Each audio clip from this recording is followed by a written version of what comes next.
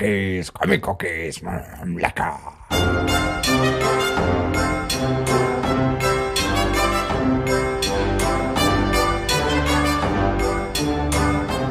Die Comic Cookies Episode 54 mit dem Breedstorm. Und den Herrn Steffen Liebschner. Guten Tag. Guten Tag. Äh, und einem Gast, der eventuell still ist, ansonsten eventuell sich immer mal zwischendrin meldet. Und rausgeschmissen wird, wenn er laut wird, ja. Ja, einer der fränkischen Kobolde ist hier. Sag mal laut Hallo. Macht sie jetzt natürlich nicht. Na gut. Ähm, ja, was wollen wir denn erzählen? Wo, wo haben wir uns denn heute getroffen? Wollen wir damit mal anfangen? Ja, es ist, ähm, wir waren natürlich wieder mal im schönen Kuschelmuschel und im Kuschelmuschel Reloaded heute Ja.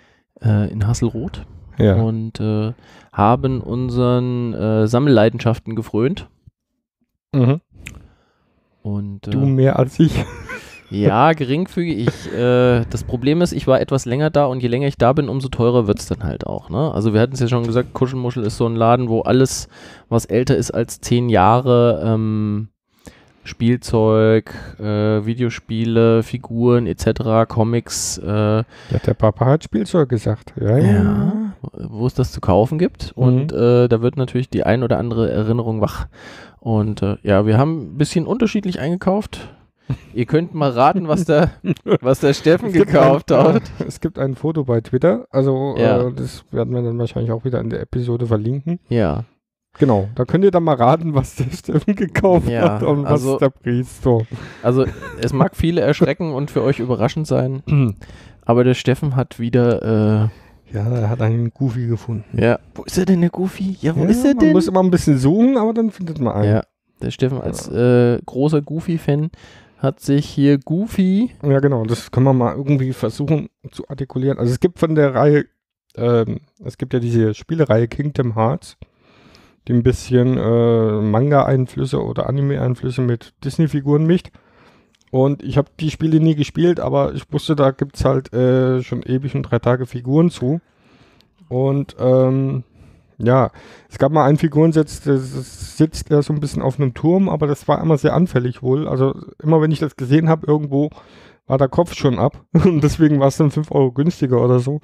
Und das habe ich dann nie mitgenommen. Und äh, jetzt gibt es aber hier noch ein anderes Set und da ist Goofy halt richtig als Figur, so als stehende Figur da drin.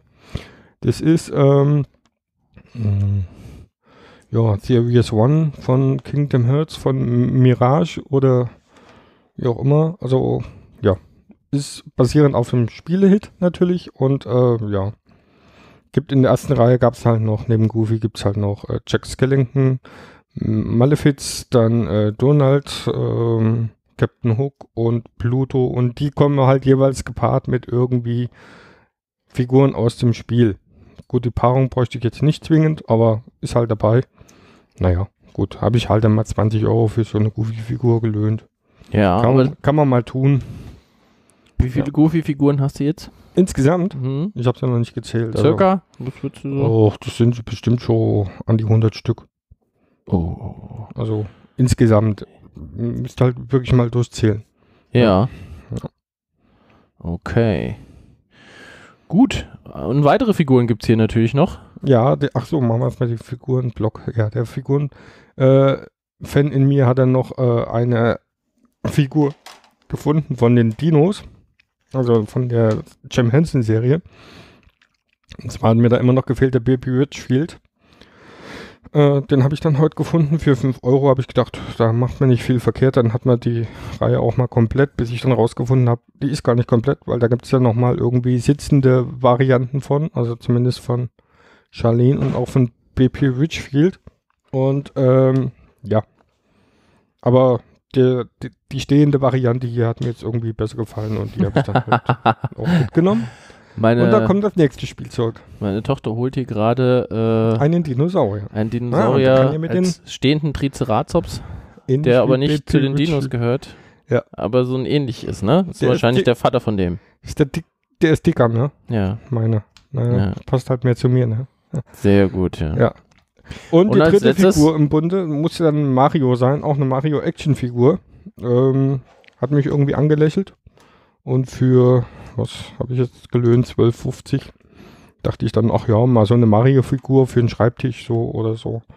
Das kann, kann nichts schaden. Wobei es jetzt nicht hätte die Actionfigur sein müssen. Die hat mich jetzt nur am ehesten angesprochen. Ja. Es gibt da auch noch andere äh, ähm, Figuren. Also In-Action-Figuren, Designer-Figuren und irgendwas.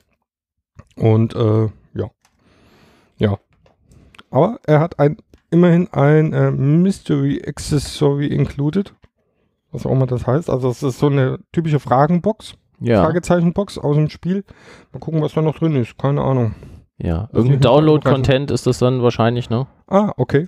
Schätze ich mal. Das ist irgendwas. Das kann gut sein, ne? Weil du kannst die Figuren ja dann in dem Spiel manifestieren und dann. Ich sehe gerade, da gibt es auch noch einen Vario, den brauchst du natürlich irgendwann auch noch. ja, bei dann werde ich mal bei eBay gucken. World of Nintendo. Hm. So eine Actionfigurenreihe von äh, Jax Pacific. Steht jetzt noch dabei. Ja, gut. Okay. Das ist natürlich ein Franchise, das wird sehr, sehr gerne äh, vergeben. Und äh, ja, gibt es ja auch massig an Sachen zu Super Mario. Was mich natürlich immer noch reizt, sind diese Miibo-Figuren, die man auch irgendwie in Spielen einsetzen kann. Mm, Das wäre bei mir ähm, dann sehr wahrscheinlich aber eher der Fall im Moment, dass ich die mir einfach nur hinstellen würde. Deswegen bin ich da im Moment noch nicht so hinterher. Hm.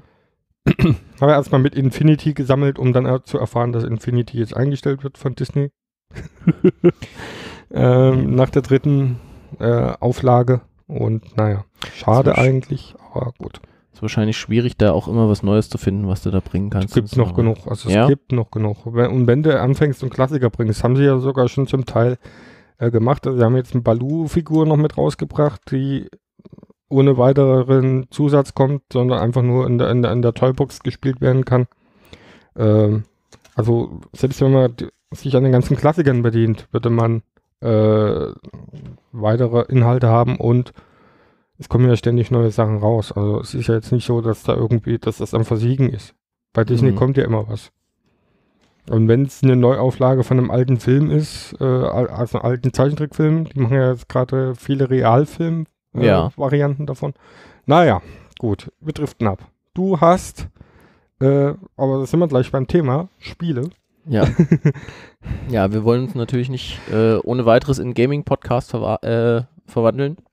Aber wir können euch natürlich, soll ich das anbieten? Willst du das anbieten? Wir können euch natürlich mal eine Gaming-Episode anbieten, wenn Ja. ihr da Interesse habt. Natürlich auch gerne mit Games äh, in Bezug auf Comics vielleicht dann. Wäre auch eine Möglichkeit. Ne? Dass wir das einfach ein bisschen Mesh-up dazu. Ein bisschen haben wir das ja das letzte Mal schon probiert, die Christina und ich. Ja. Äh, aber wie gesagt, das ist ja nur an der Oberfläche gekratzt. Und von daher, das kann man gerne mal tun.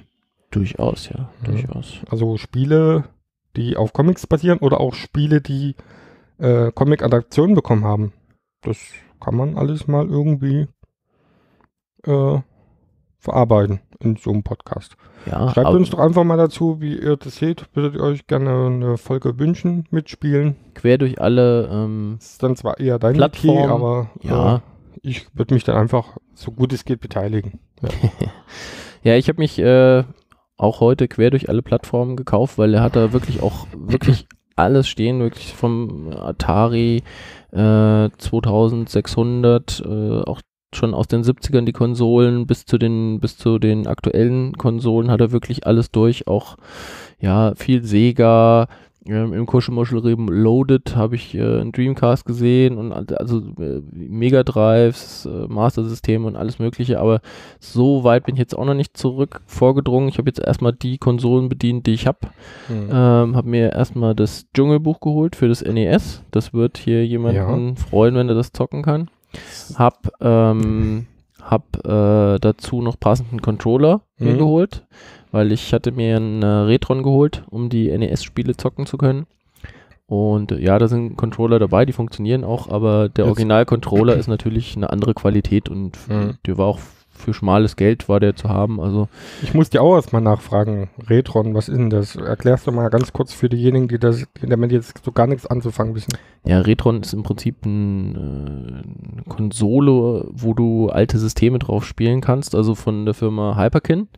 Und da gibt es Retron 1 bis 5. Der, der erste, der hatte nur, den ich jetzt gekauft habe, der hatte nur die Möglichkeit, ein NES zu spielen. Es gibt ja viele ähm, Hersteller, die das NES klonen, sogenannte Famiclones, Mhm. ähm, die, weil die Lizenzen da ausgelaufen sind und jeder kann im Prinzip heute ein NES nachbauen und das äh, äh, auch verkaufen, legal, das ist überhaupt kein Problem. Und auf dem letzten, auf dem Retron 5, da kannst du, glaube ich, zehn Systeme spielen, Game Mhm. Boy und, und äh, ich glaube Mega Drive ist noch drauf und Super Nintendo und all, also wirklich tausenderlei Genesis, also es ist alles äh, wirklich, äh, wobei die neueren wohl so sind, dass die das Spiel erkennen und das Spiel dann emulieren. Mhm. Ähm, aber wie gesagt, ich wollte es halt primär für, für das NES und auch um es mal zu testen, weil du brauchst dann auch solche Sachen wie einen äh, Spannungswandler. Mhm. Ähm, und äh, ja, es funktioniert.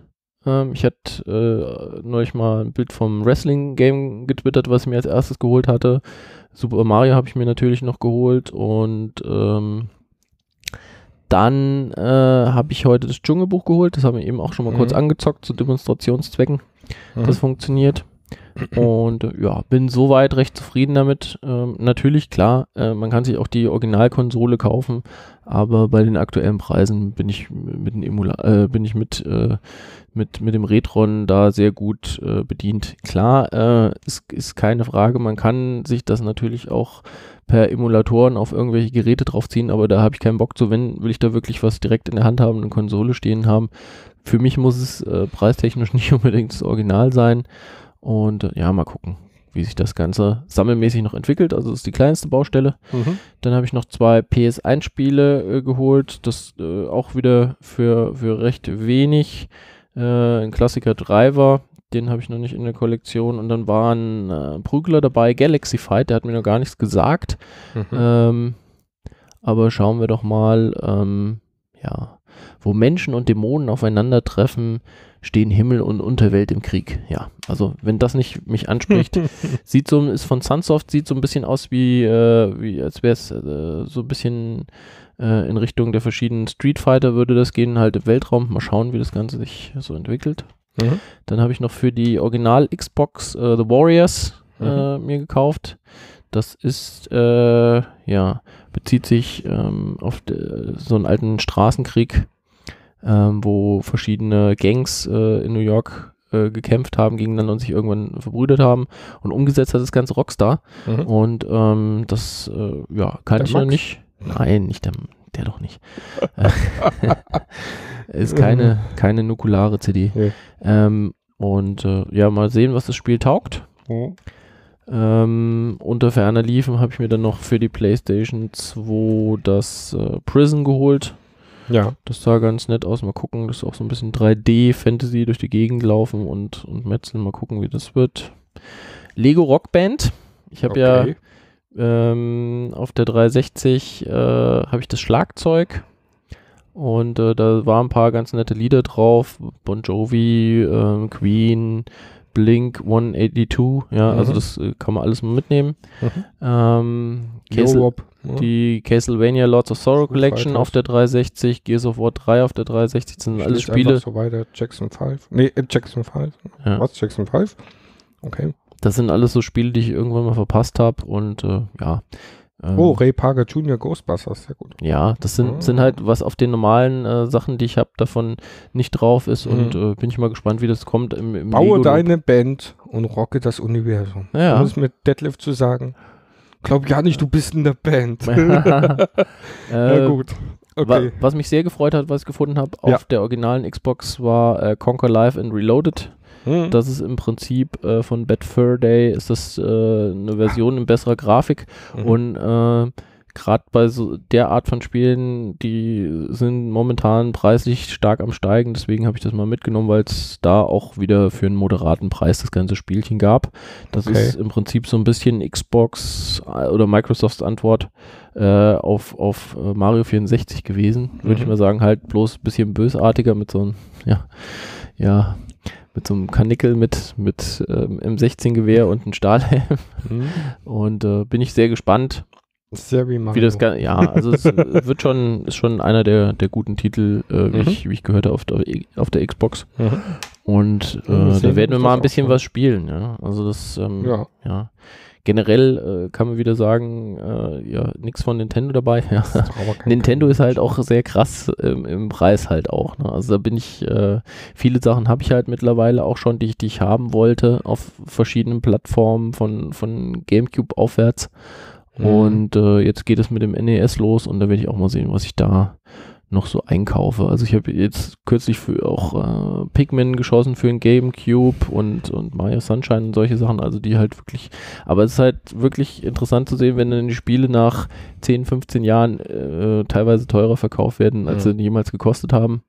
Ähm, schauen wir mal, ob das dann auch berechtigt ist. Ähm, wie gesagt, wenn ihr mal ein Special oder sowas haben wollt, zu spielen, Spielesammlung, wie kann man vielleicht auch, auch günstig einsteigen? Also ich, ich sag das ganz klar, der Tipp ist äh, PS2, weil da die Spiele eigentlich immer noch, weil es da sehr, sehr einfach durch die schiere Menge, die die, die, die PS2 damals hatte, ähm, unheimlich viele Spiele und auch äh, von der Qualität her gute Spiele für einen moderaten Preis anbietet. Ja, Mhm. also das, äh, da, da kann man rela mit relativ wenig finanziellen Einsatz eine Konsole und wirklich so 10, 15 erstklassige Spiele, die du heute auch noch sehr gut äh, spielen kannst, weil sie einfach gut altern spielen. Und Mhm. ähm, ja, das ist auf anderen Konsolen, wenn du wirklich anfängst mit, mit äh, Super Nintendo oder N64 oder so, da kannst du dich, je nachdem wie, wie leidensresistent du bist, ja, wenn, wenn, wenn, wenn du wirklich gut aussehende Spiele am besten noch in Originalverpackung haben willst, dann bist du relativ schnell bei dreistelligen Beträgen und Mhm. ja, das mir dann auch nicht wert. Ne? Okay. Aber, und ganz, ganz wichtig noch, dann habe ich noch eine, ja, habe ich in der Ecke stehen sehen, war auch schon leicht vergilbt, aber ich dachte, naja, für 2,50 nehme ich das mal mit. Eine Gamebox. Und zwar scheint das, ein, also für mich zumindest, scheint das eine Box zu sein, wo Die du, aufgeht. die, die schwierig aufgeht, aber wo du einfach äh, Gameboy-Spiele drin lagern kannst. Ah ja. So ein bisschen archivieren.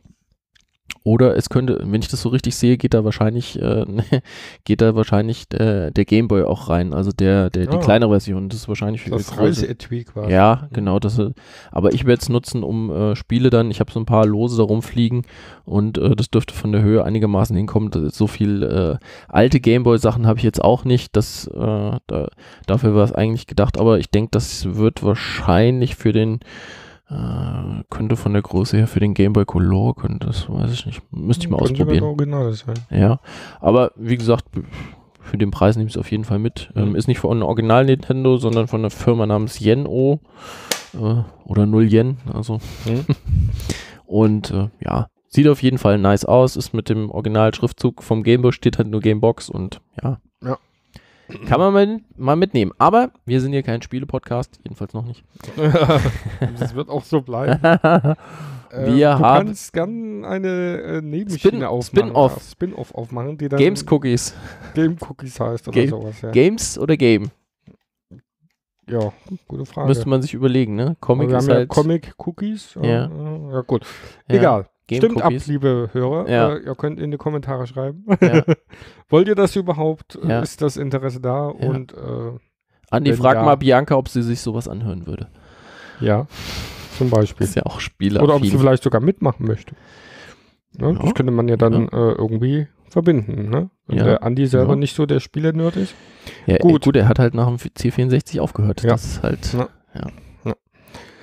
Gut, gut. Äh, aber wie du schon gesagt hast, lass uns mal zu Comics gehen. Äh, Ja. Wir haben da auch so ein bisschen was gelesen. Auch ich habe diesmal ein bisschen was gelesen und äh, fast wäre es noch ein Titel mehr geworden, aber eben nur fast, wie das oft bei mir der Fall ist. Aber wir haben ja ein paar Titel zusammengelesen. Du hast eine hast du, oder ne, eigentlich beide hast du schon angeteasert letztes Mal. Mit welchem wollen wir denn anfangen? Ich würde sagen, wir fangen mit einem an, den wir zusammengelesen haben. Dann Mhm. stellt jeder mal so seine Sachen vor und wir hören dann mit dem letzten auf, den wir auch zusammengelesen haben. Klingt das nach einem Plan? Das klingt nach einem Plan. Gut. Also, dann fangen wir doch mal an mit I Hate Fairyland, oder? Ja. Von Scotty Young Ja. in Personalunion. Natürlich nur fast, weil er hat zwar geschrieben und gezeichnet, Aber die Farben kommen von, müsstest du nochmal hinten drauf gucken, hinten rein zumindest, da steht's drin. Gibt es so eine kleine, Nate Peacocks äh, oder Nee, Jean-François Beaulieu. Ja. Okay. Kanadier, ne? Mhm. Ähm, genau, Kanackel. Mhm. Kanadier. Mhm. Wie sind wir denn drauf hier? Sagt Wolverine immer Kanackel. Zu Kanadier. Nicht Kanacke, Kanackel. Ach so. N-U-C-K-L-E, Kanackel. Irgendwie ein Verständigungsproblem. naja, gut. Äh, ich wollte gerade sagen, hier, so, so, so Töne gibt es da eigentlich hier gar nicht. ich wollte es gerade. Also, Schön, dass du mir das zutraust. Nein, würde ich nicht. Auch jetzt, ich- das ist ein bisschen wie ein altes Ehepaar jetzt. Ja. So, äh, lass uns doch mal zu dem Comic kommen. Ja, erzähl mal so ein bisschen, wie fandest du den Ich Comic? fand den sehr bunt. Worum geht's denn erstmal, Steffen? Also es geht um ein, ein, ein Mädchen, das wird in die Welt, äh, eben diese Märchenwelt gezogen, also Fairyland, ne? Hm? Und ähm, Prinzip ist es dann immer, äh, Abenteuer zu bestehen, die dazu führen, dass man einen gewissen Schlüssel bekommt, der einen wieder in, das, äh, in die reale Welt zurücklässt. Ich stelle die sich da aber da irgendwie, und da müsst ihr mir jetzt mal kurz dann helfen, äh, ungeschickt an oder was, ne? Jedenfalls findet sie den Schlüssel als nicht und befindet sich dann wie viele Jahre lang da drin? Um die 20, Mm, 23? Ja, das ist irgendwie auf jeden so. Fall, äh, genau.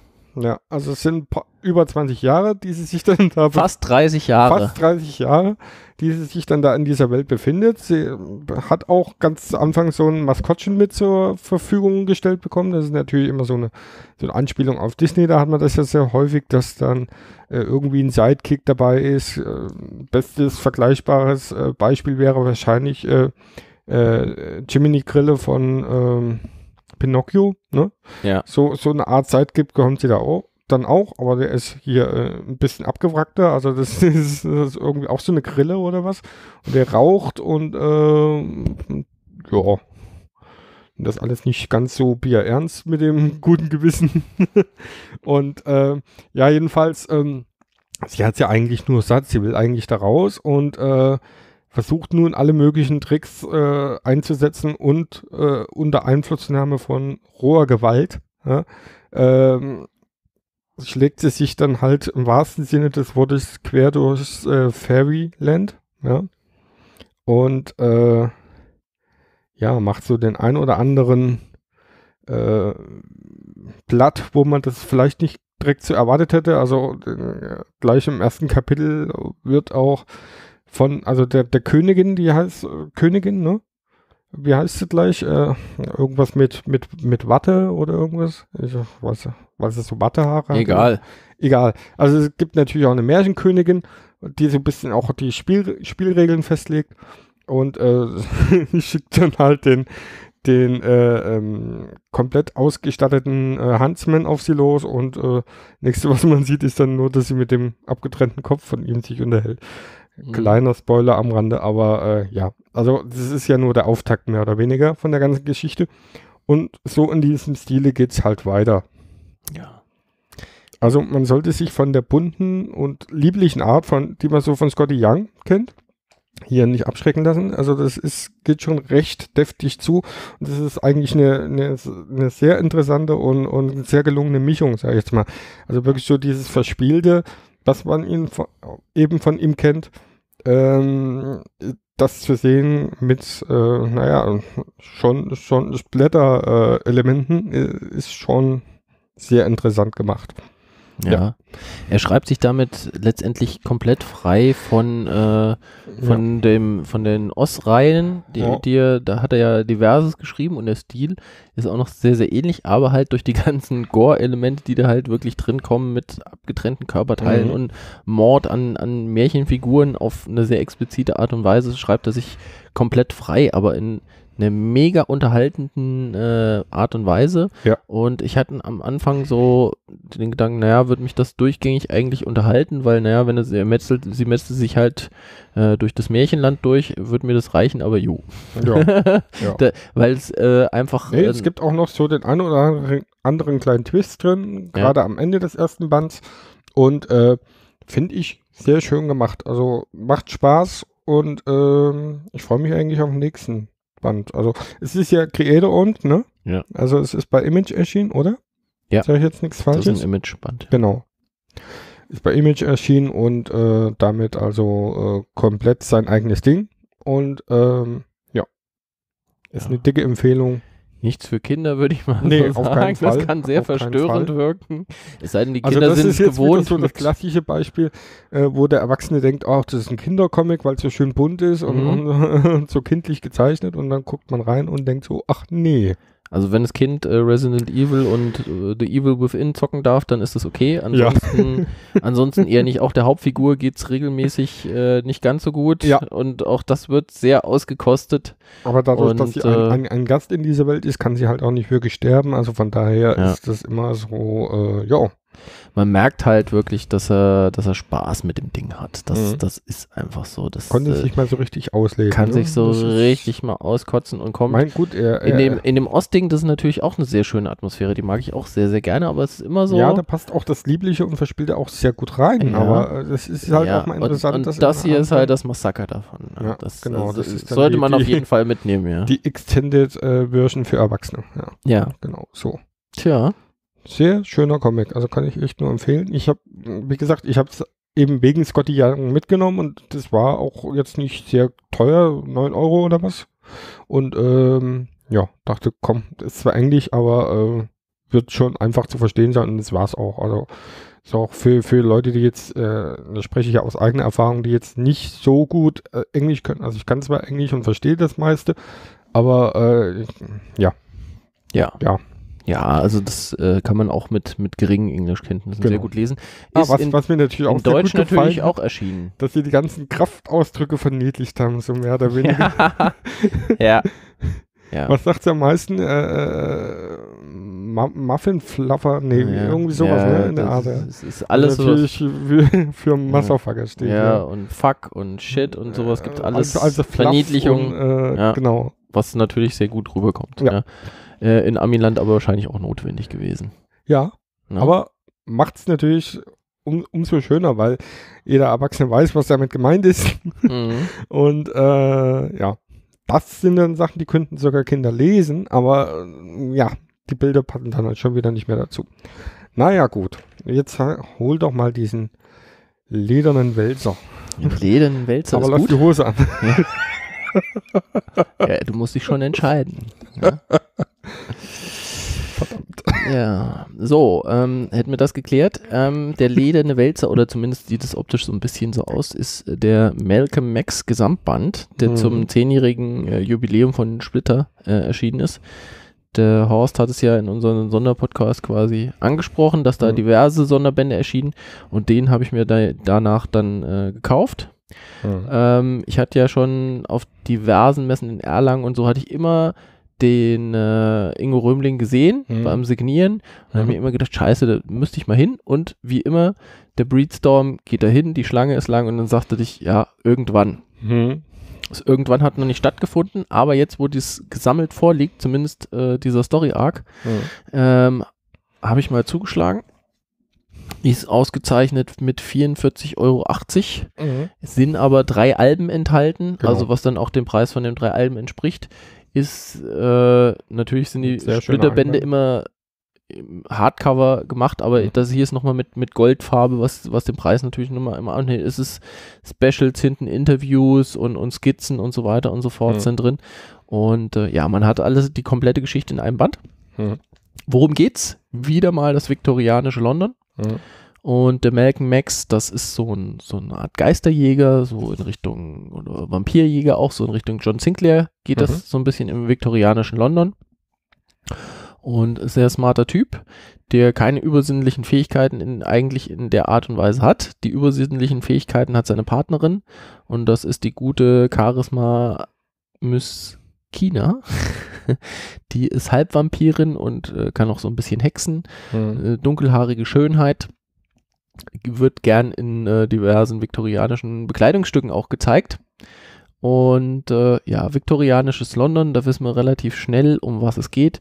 Ähm, da werden wir in Geschichten wie zum Beispiel Sherlock Holmes Mhm. haben wir da was gesehen, Jack the Ripper, diese, diese ganzen ähm, Verfilmungen Verfilmungen. Bücher, Der letzte Assassin's Creed Teil hat es natürlich äh, gezeigt. Mhm. Äh, wie, wie hieß er? Unity? Unity. Ja, war das der, der in London gespielt hat? Ja. Kann, kann gut sein, ja. Ja. Um, oder auch äh, The Order 1886. Mhm.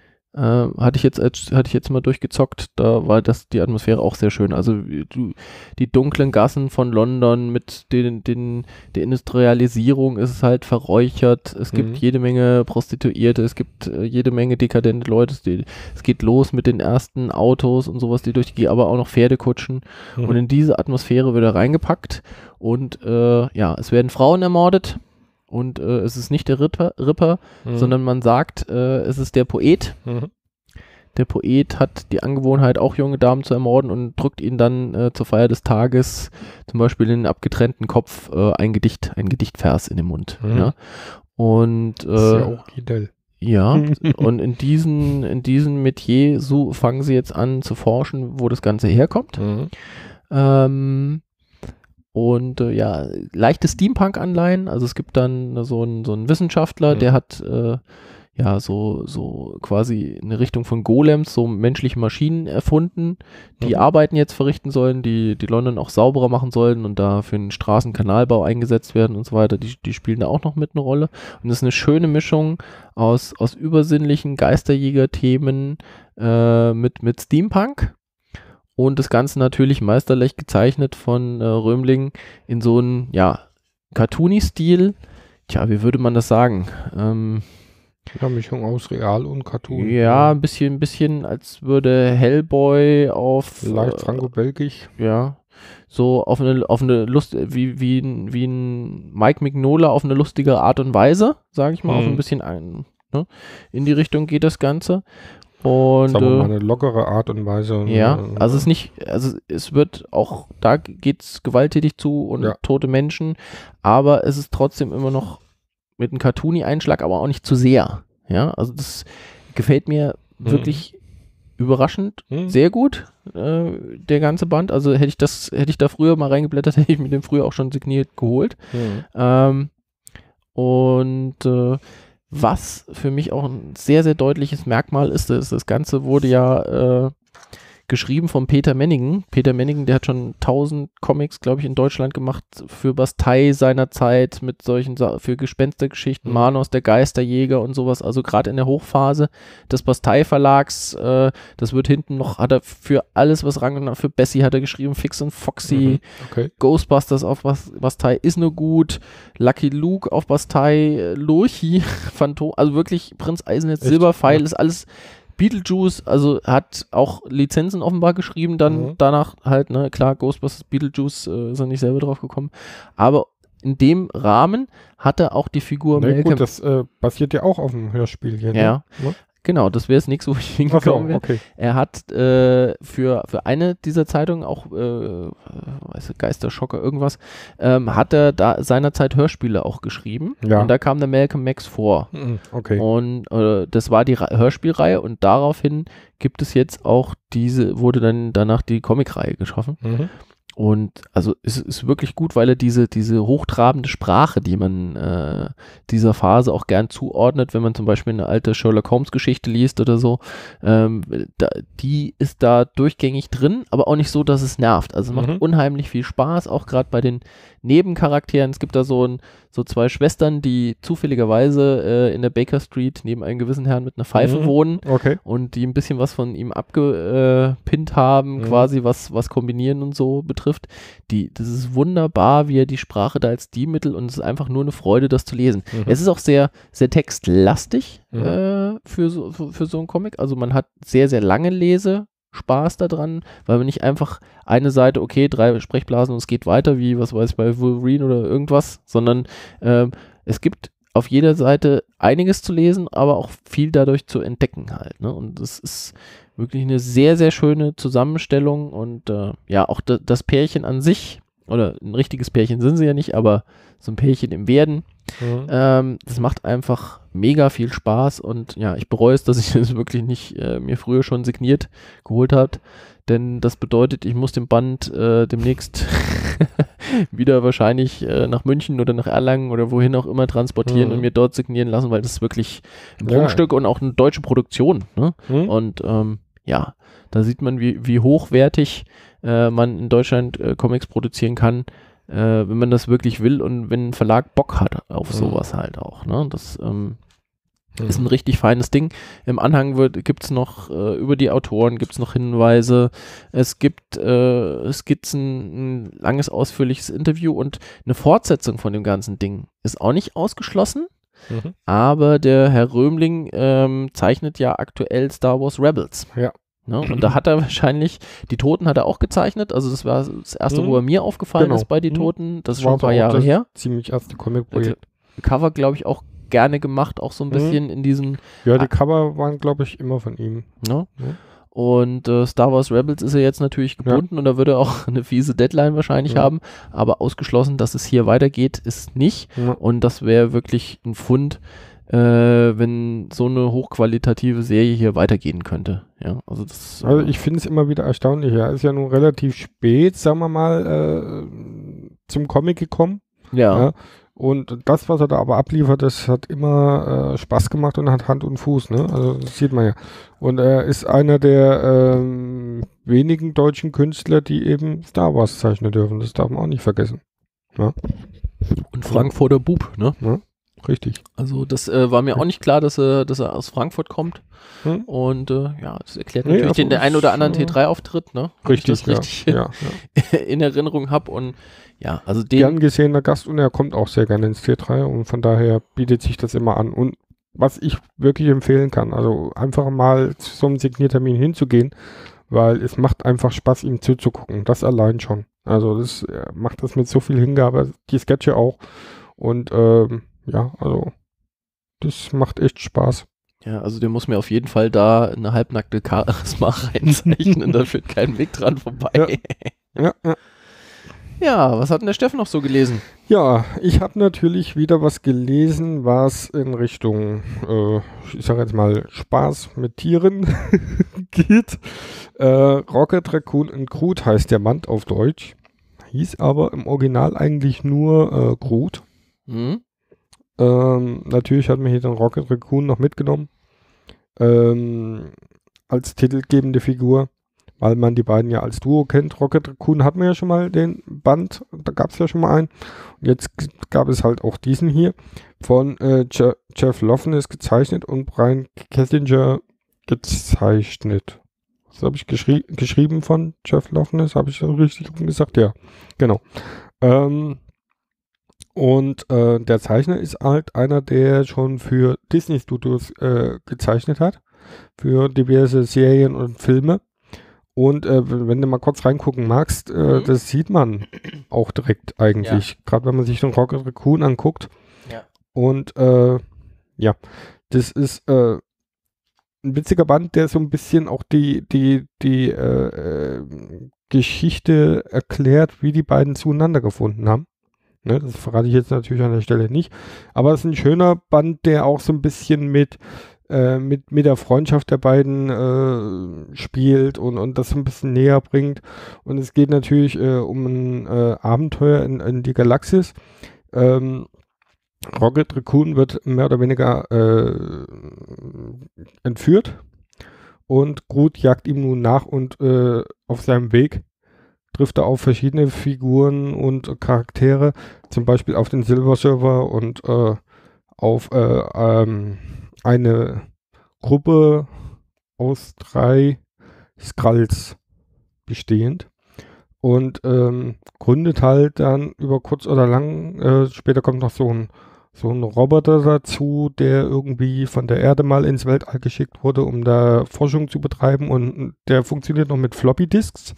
ja, also immer wenn der abstürzt, dann muss er halt erstmal mit Floppy Disk neu gebootet werden und ähm, ja, so so so ein äh, illustres Team bildet dann halt Groot um sich und äh, um seinen Kumpel und Partner zu befreien. Ja. Das ist das, um was es in dem Band geht. Und äh, ist eine schöne Geschichte, hat ein äh, sehr herzliches Ende Mhm. und äh, Ja, spielt so auch so ein bisschen nicht nur mit der, mit der Zeichnung, mit dem Disney-Stil, sondern auch von der Erzählung her. Kann, könnte man jetzt ähm, auch denken, das könnte auch gut als, als äh, Disney-Film oder Disney-Episode funktionieren. Mit den beiden. Mhm. Ja. Muss man einen Schluck trinken? Ja, meinst du, das ist schon eine gewisse Annäherung zwischen D Disney und Marvel oder? Ja, definitiv würde ich sagen, weil ähm, wenn man sich jetzt schon Zeichner dann reinholt aus, aus dem Disney-Stall, die dann, also das ist ja jetzt äh, nun wahrscheinlich auch nicht immer der Fall oder nicht so häufig der Fall, aber eben ab und an mal. Mhm. Und ähm, ja, ich denke schon, dass es so eine gewisse Annäherung ist. Ja, Ist auch kein Wunder, dass diese zwei wieder hier im Team auftauchen halt. Ne? Die, das, die lassen sich natürlich sehr gut vermarkten. Waren ja, Ja. so, so ein bisschen die Sympathiefiguren in dem ganzen Film halt. Ne? mhm. Ähm, genau. da Ja, kann man natürlich. Geld mit scheffeln. Ja, und wie gesagt, also das, die sind natürlich auch prädestiniert dazu, dann äh, irgendwie auch so ein bisschen äh, das Disney-Ambiente aufgestülpt zu bekommen. Ja. Äh, was hier aber ganz gut funktioniert, finde ich. Also Mhm. Gut, ich bin jetzt auch Disney-affin, also mir macht es ja nichts aus. Jetzt, ich würde mal gerne die Meinung von jemandem hören, der nicht so Disney-affin ist und äh, der das mal liest. Geht's drum? Ja, ich, ich hatte ja den äh, damals diesen, Mhm. diesen US-Sammelband äh, gelesen von Rocket Raccoon und äh, Groot. Mhm. Und da, äh, auch da ist das schon. Also da, da Mhm. war ja noch lange nichts bekannt, ähm, Okay. dass, äh, dass da irgendwas in die Richtung gehen wird Ja, äh, das mit sind so- Disney. Aber auch da ging es schon in Richtung Verniedlichung Mhm. und ja, nicht immer hundertprozentig Scotty Young, aber die Richtung war schon klar, dass das knuffige Figuren einfach auch werden. Mhm. Ja, das, das, das war deutlich. Gut, gut. Ja, also das, wie gesagt, wer da, wer da Fan von den beiden ist, dem ist der Band natürlich sowieso ans Herz gelegt und äh, wer so einfach mal, ja, so eine, ja, ich würde schon fast sagen, so eine Disney-Geschichte mal im Marvel-Kleid sehen möchte, das passt da ganz gut, ja. Mhm. Oder eine Marvel-Geschichte im Disney-Kleid, je nachdem, wie man es auslegen möchte. Ja, Mhm. genau. Gut. Ist das mal was, gut, hast du gesagt, ist das mal was, was äh, für dich so Ja, durchaus. Also ähm, ich hatte ja sehr viel, sowas rein. Ich hatte ja sehr viel Spaß äh, Mhm. an dem, äh, an diesem Sammelband, auch gerade durch die unterschiedlichen Stile. Es, es, es stimmt schon, also gerade wenn ich mir die Augen sehr angucke, da, da ist schon ja sehr Ja. viel Disney-lastiges äh, dabei. Aber er trifft hier nicht nur auf den Silver Surfer, sondern ähm, auch auf die junge Dame, mit der Mhm, er sich bewegt. Stimmt, ja. Ähm, und äh, auch dieser Stil. Die von der Erde kam, ne? Genau, und Mhm. ähm, ja, da äh, von dem Madman-Zeichner quasi. Mhm. Das, und, Mike äh, Allred Band, ne? Mike Allred, genau.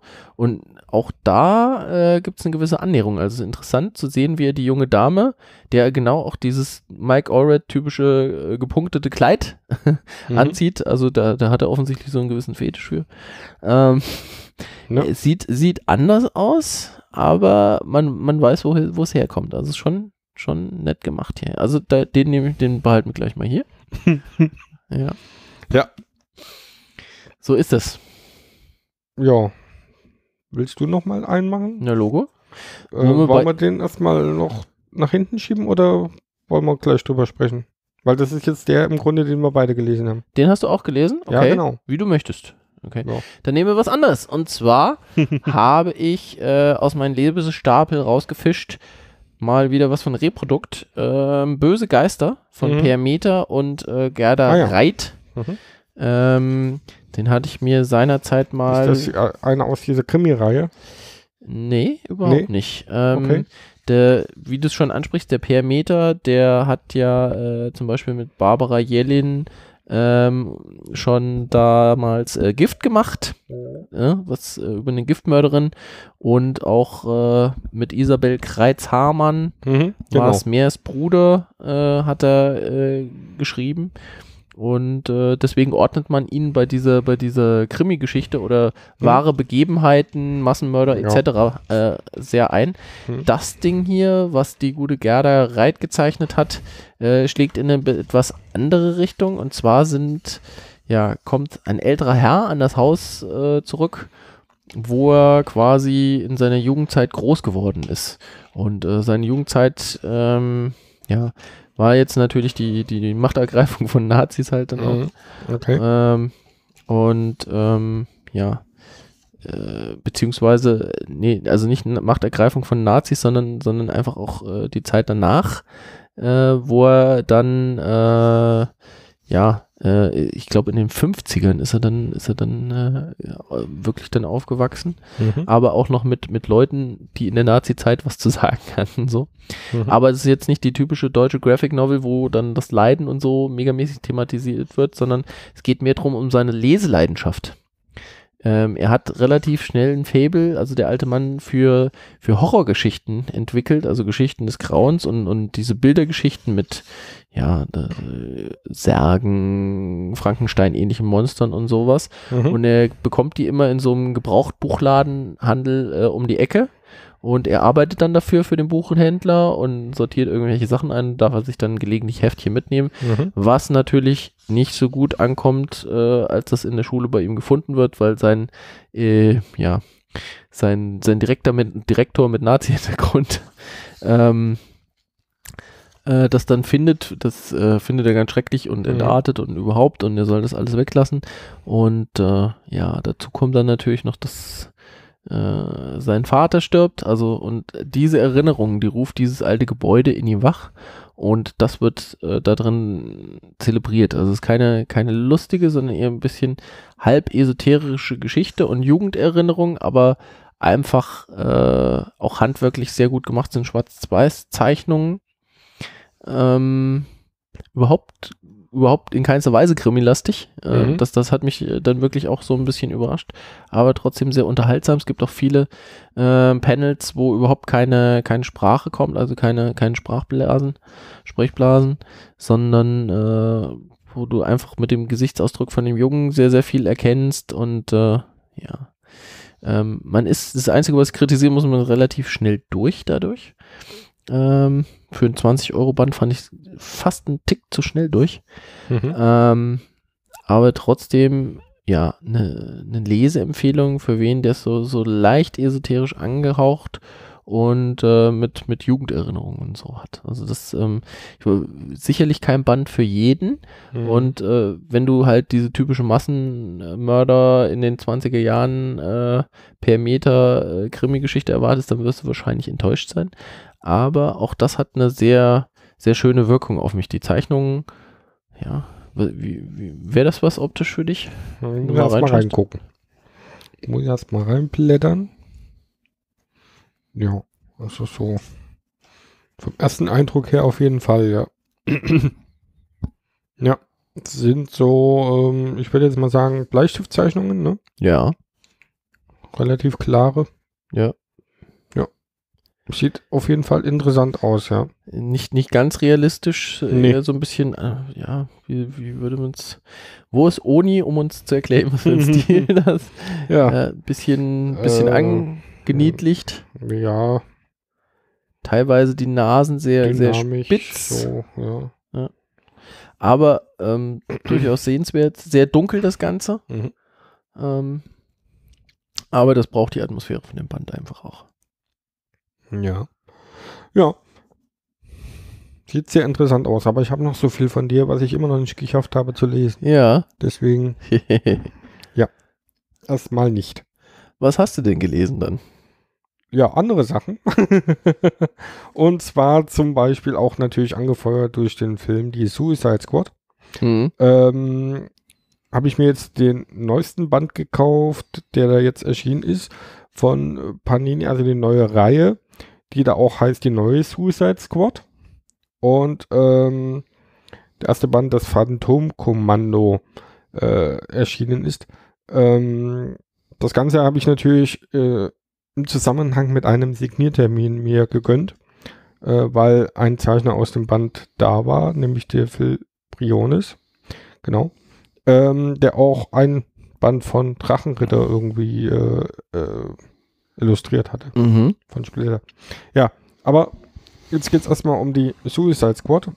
Und zwar ähm, bekommt Menta Waller einen neuen Vorgesetzten, dessen Namen ich jetzt natürlich nicht weiß. Namen sind bei mir Schall und Rauch.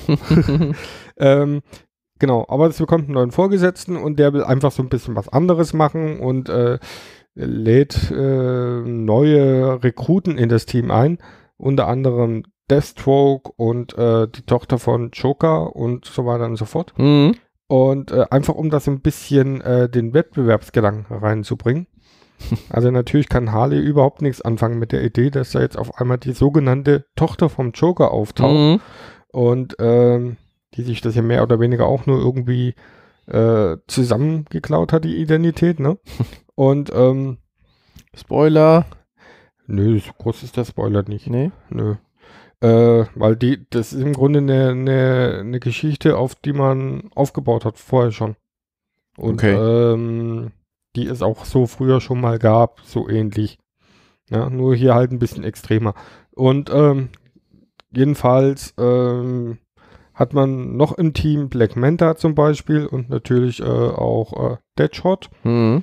Und äh, da ist natürlich klar, also Deathstroke ist dann pra- praktisch das Pendant zu äh, Death, Deadshot. Ich komme mit diesen ganzen Pendant.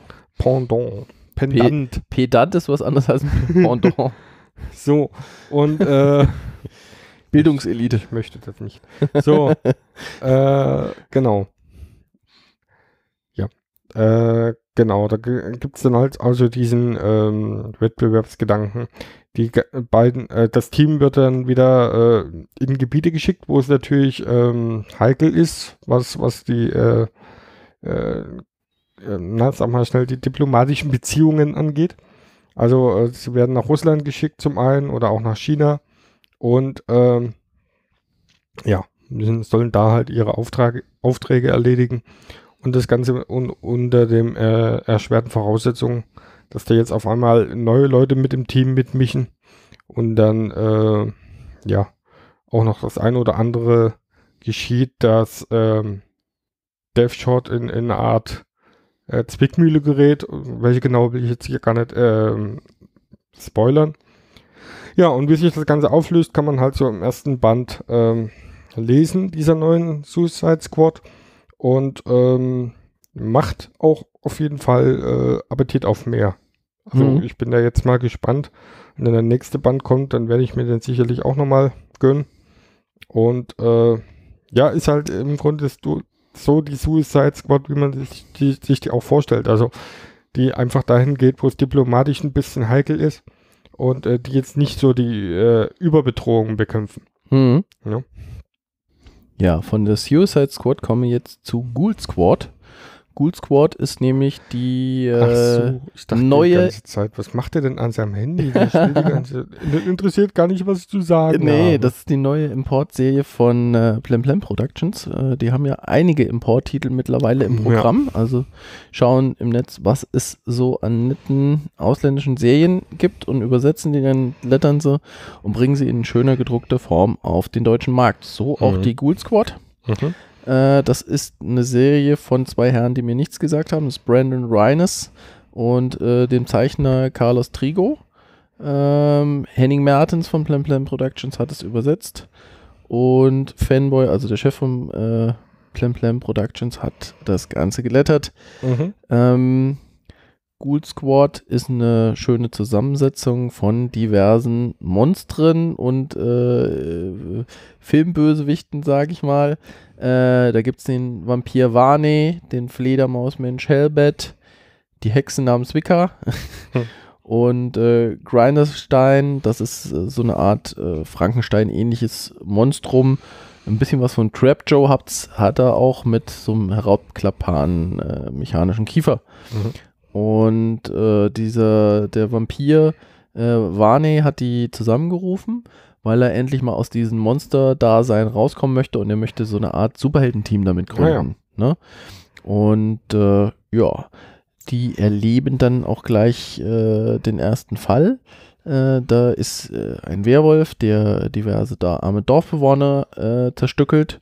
Und äh, die Ghoul Squad muss jetzt versuchen, den Werwolf äh, dingfest zu machen. Jetzt kann man natürlich sagen, warum wollen die den fangen? Eigentlich ist er ja genau wie sie, aber da gibt es eine sehr lustige Begründung in dem Band, die möchte ich jetzt nicht rausnehmen, aber ähm, das wird schon sehr, sehr äh, humorvoll gemacht. Das Mhm. Ganze ist auch sehr cartoony äh, gezeichnet. Ich glaube, Steffen, dir würde es, glaube ich, so richtig gut gefallen. Mhm. So, ja, ich. Ja, ich kenne bisher ja nur das Cover, Mhm.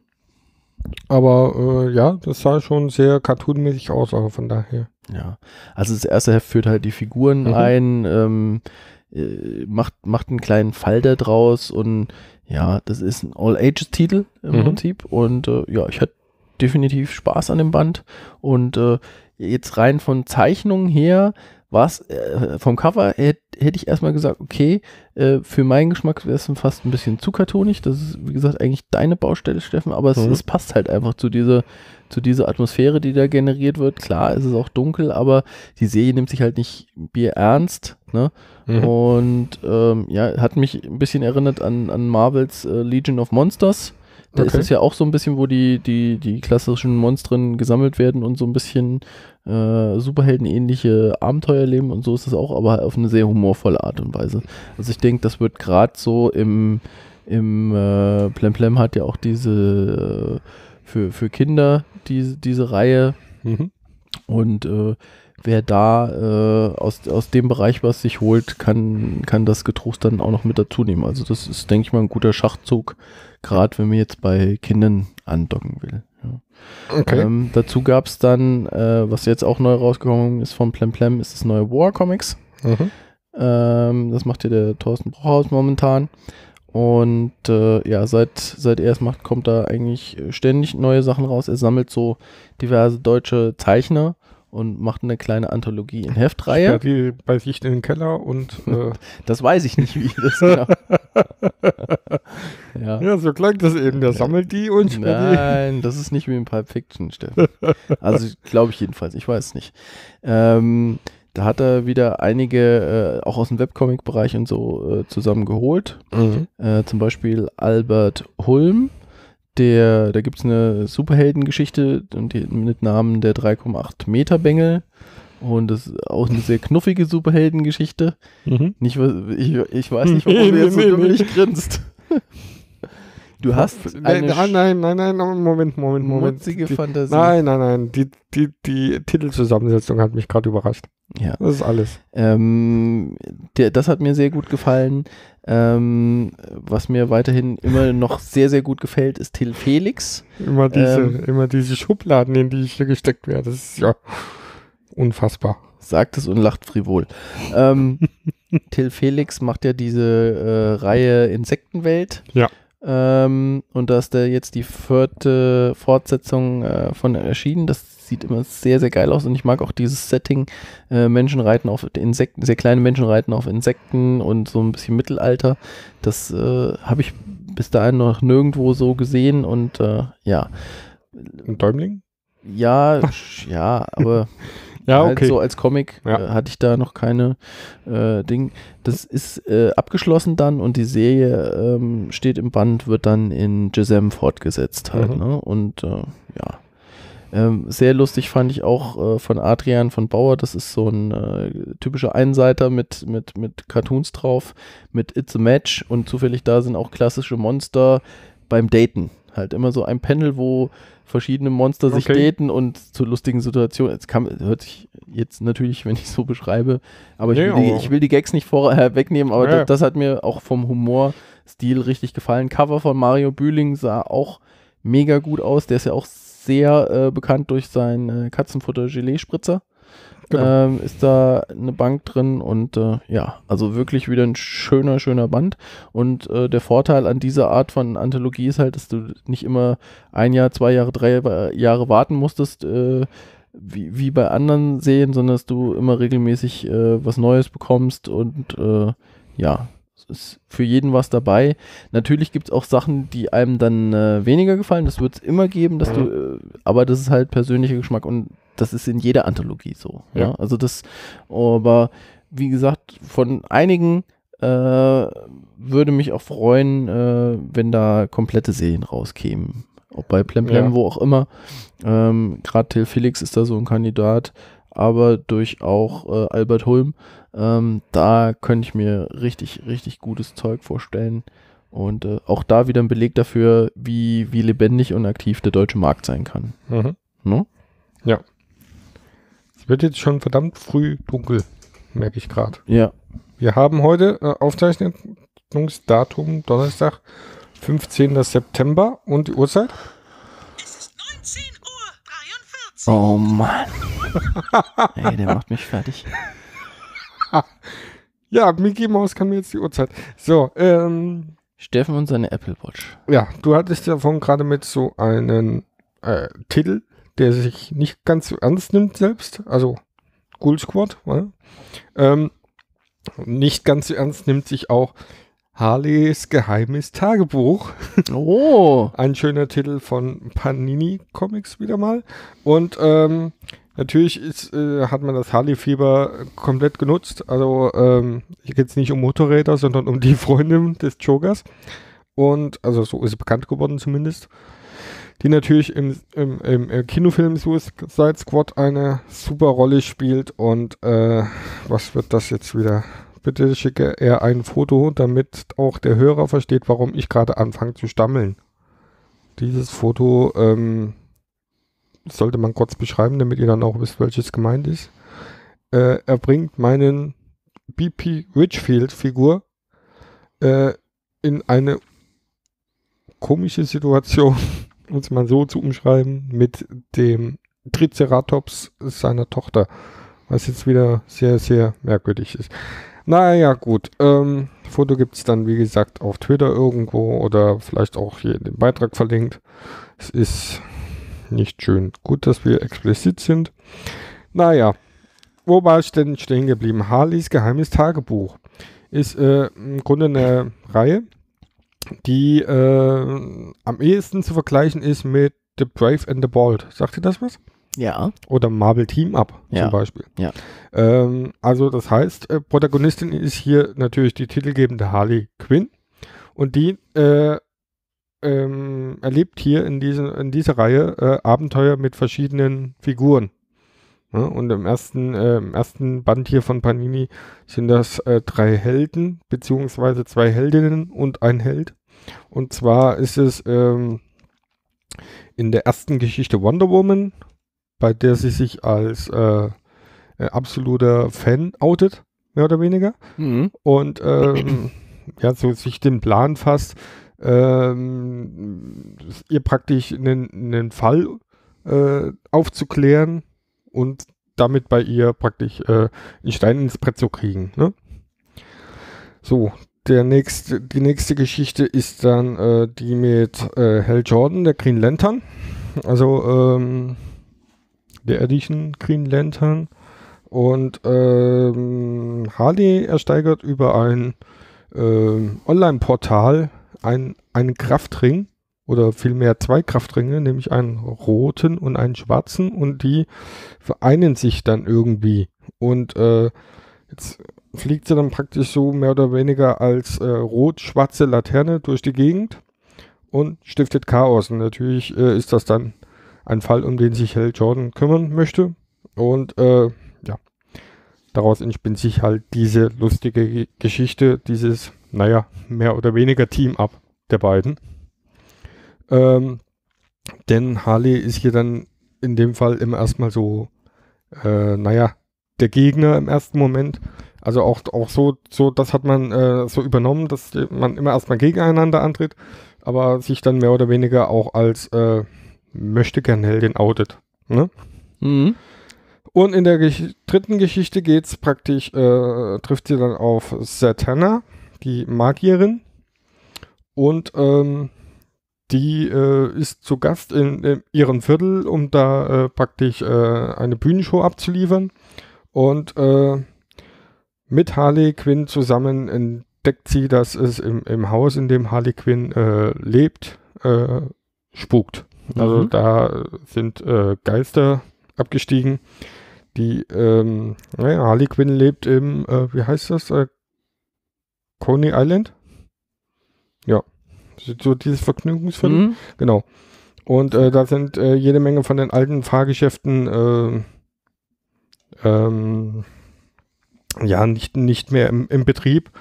Und verfallen mehr oder weniger und äh, in einem, also in einer äh, Geisterbahn äh, sind halt Geister äh, drin und die versuchen nun irgendwie ähm, eine neue Bleibe zu finden. Genau.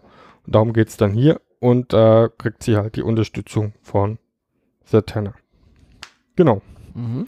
Drei Geschichten sind da drin und ähm, ja, die machen gute Laune. Ist halt, wie gesagt, der alte Team-Up-Gedanke, aber das Ganze mit Harley Quinn gewürzt. Macht sehr viel Spaß. Und findest du auch, dass die Zeichnungen sexistisch sind oder? Teilweise, ja. Ich sehe hier, wird einiges entgegen der Schwerkraft nach oben gedrückt, so auf den Cover zumindest, aber innen drin bei, sehe ich jetzt beim ersten Durchblättern auch. Ja gut, äh, Ist dir die, nicht aufgefallen, ne? ich, es Ich prangere um das die, an. Es ging mir um die Handlung. Ja. Äh, ja. Ähm, die Zeichner wechseln auch. Also es ist nie, also zumindest in den ersten drei Geschichten nicht derselbe Zeichner. Es ist immer ein anderer. Mhm. Und geschrieben wird es auch von Amanda Connor, meine ich, die auch die reguläre äh, Harley Quinn-Reihe geschrieben hat. Ja, aber zusammen mit äh, Jimmy Palmiotti halt, ne? Ah, das ist okay. äh, schon. Gut. Ja, ja ähm, ich, wie gesagt, ich bin so ein bisschen Harley müde, weil ich finde, dass die Figur sehr, sehr verheizt wird momentan. Gerade der neue Joker ist.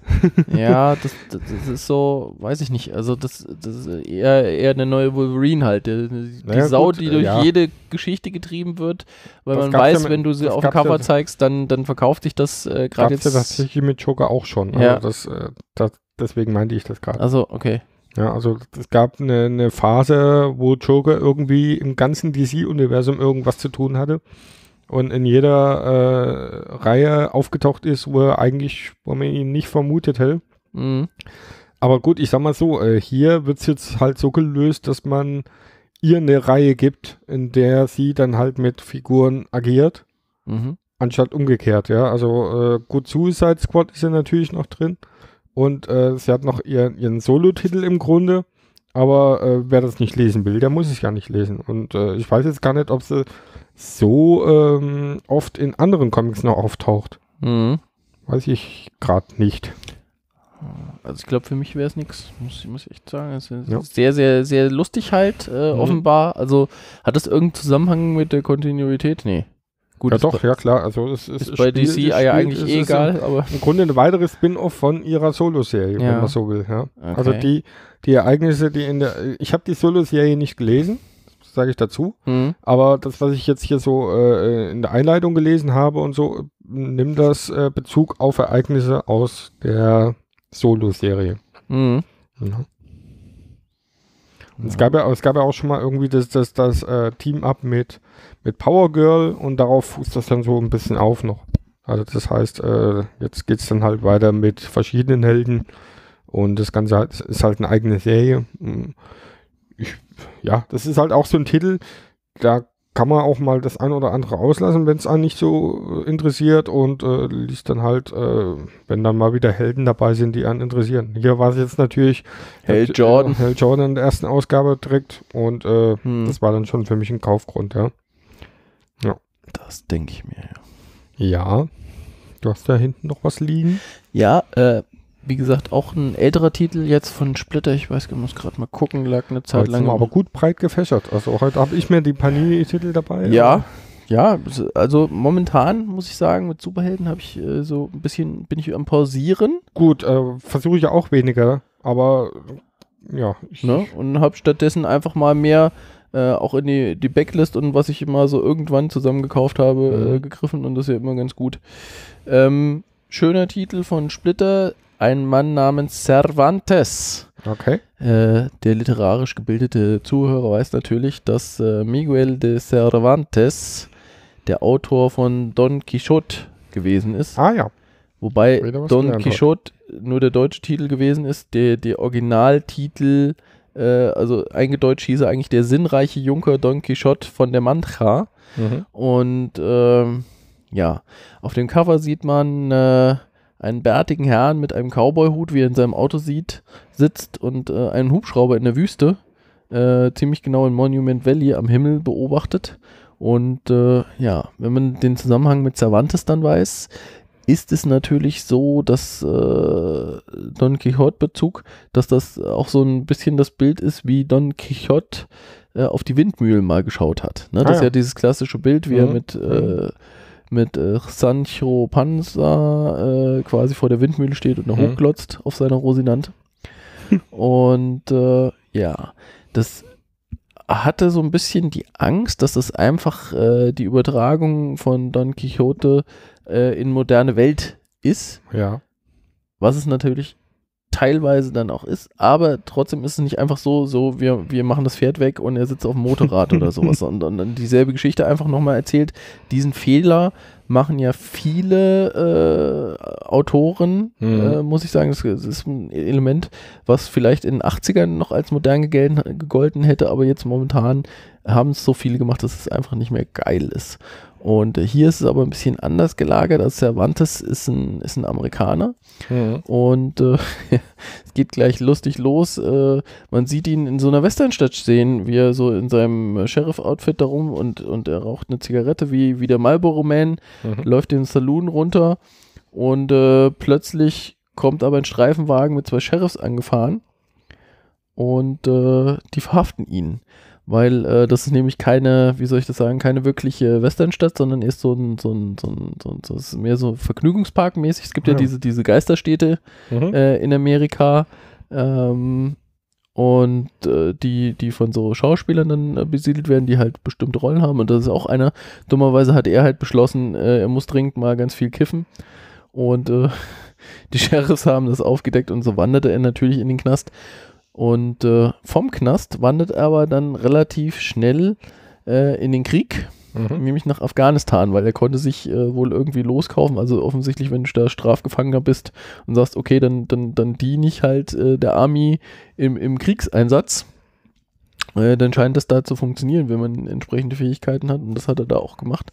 Und wird aber leider, leider äh, ziemlich schnell dann da verletzt. Ähm, was natürlich auch wieder gewisse Parallelen hat zu dem Autor Cervantes, der nämlich auch verletzt wurde. Ähm, dem sein Konvoi wird angegriffen äh, äh, und äh, ja, Körperteile fehlen ihm dann im Anschluss.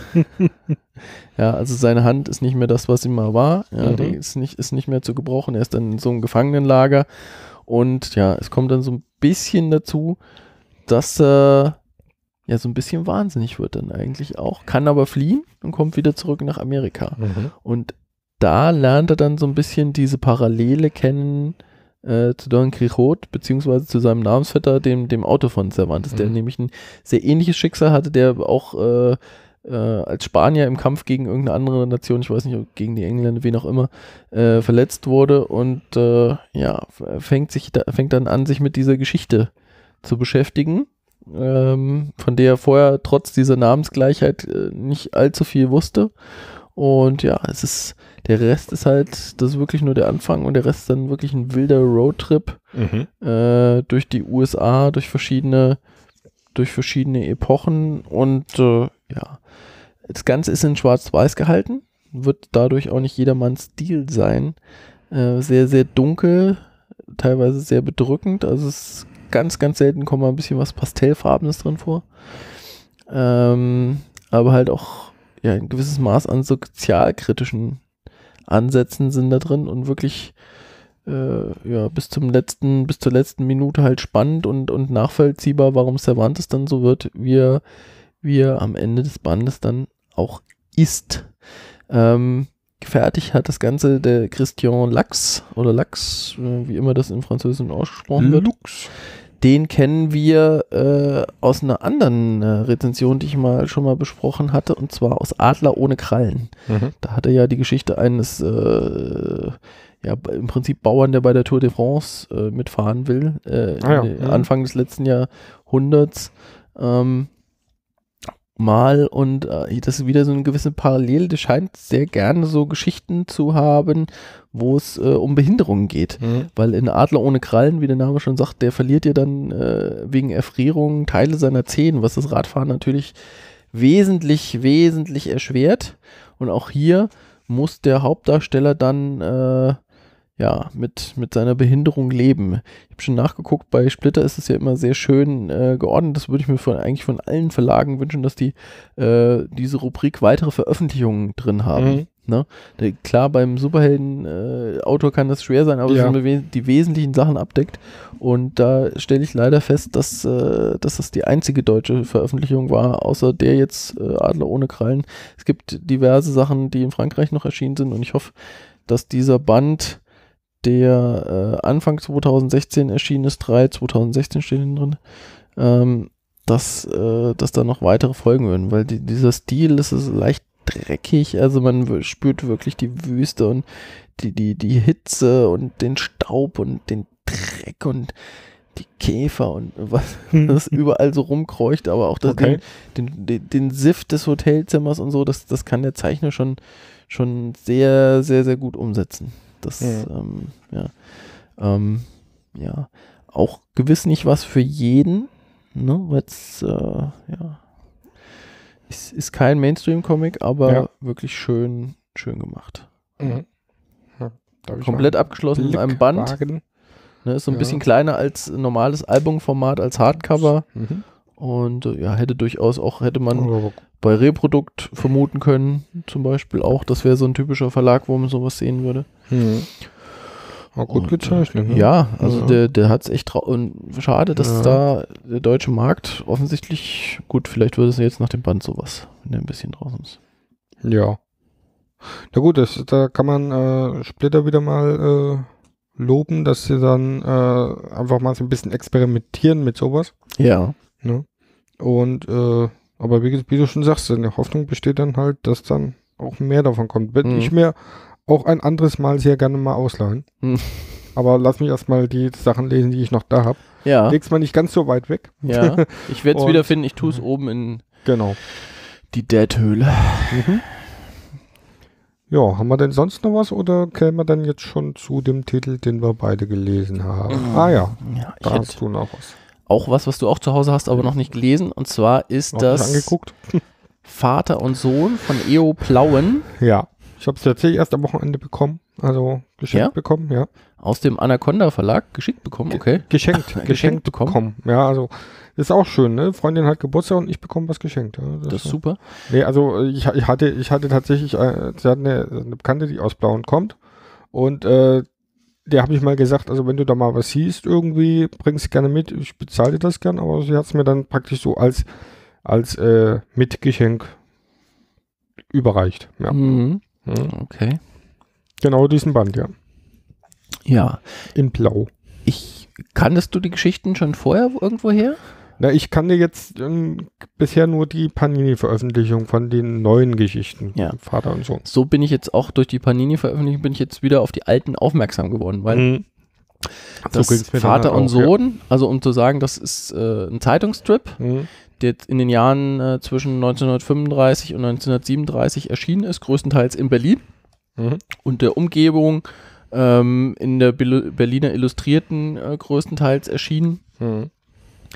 Ähm, aber auch äh, in teilweise in anderen Zeitungen ähm, und ist immer ein Einseiter, wo äh, ein, ein, ein Vater, also quasi glatzköpfig, Oberlippenbart, bisschen dicklich mit seinem kleinen Sohn irgendwelche Geschichten erlebt, irgendwas Mhm. Lustiges. Mhm. Also typische Zeitungstrip, aber halt aus Deutschland, was äh, gibt es ja nicht so viele aus der Zeit, an dem wir uns da erinnern. Da denkt man in erster Linie dann eher an, an amerikanische Publikationen Mhm. meistens.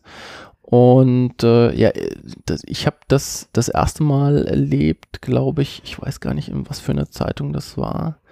So äh, zur Schulzeit gab es äh, ähm, in dem Bus, in dem wir gefahren sind, das war ein spezieller Schulbus, wo halt nur Schüler mitgefahren sind und da lagen immer diverse Gratis-Zeitungen von, was weiß ich, aus, aus der Apotheke, glaube ich, gab es Mhm. solche Sachen oder äh, auch von anderen Anbietern äh, gab es irgendwelche Gratiszeichnungen und das war, glaube ich, in dem von der Apotheke, ich weiß gar nicht, Medizini oder so ähnlich hieß es, ich weiß gar nicht mehr. Mhm.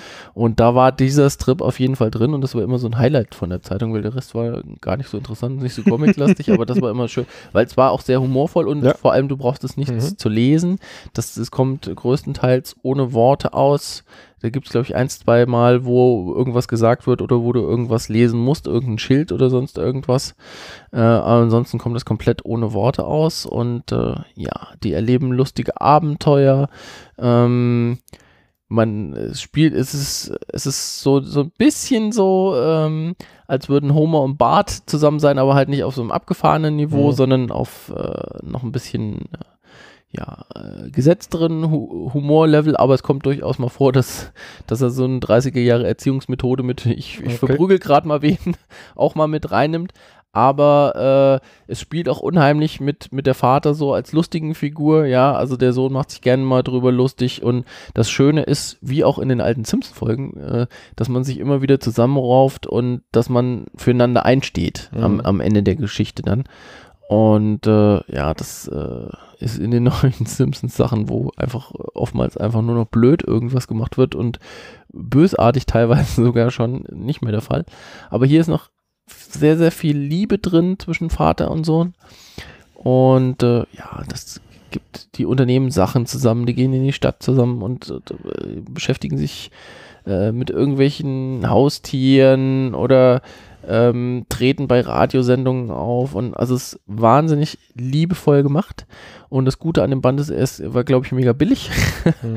ähm, weil die Sachen ja mittlerweile wahrscheinlich auch äh, frei verfügbar sind, einfach weil es aus den 30ern ist und dann äh, die Rechte ja nach 70 Jahren glaube ich oder so ablaufen Mhm.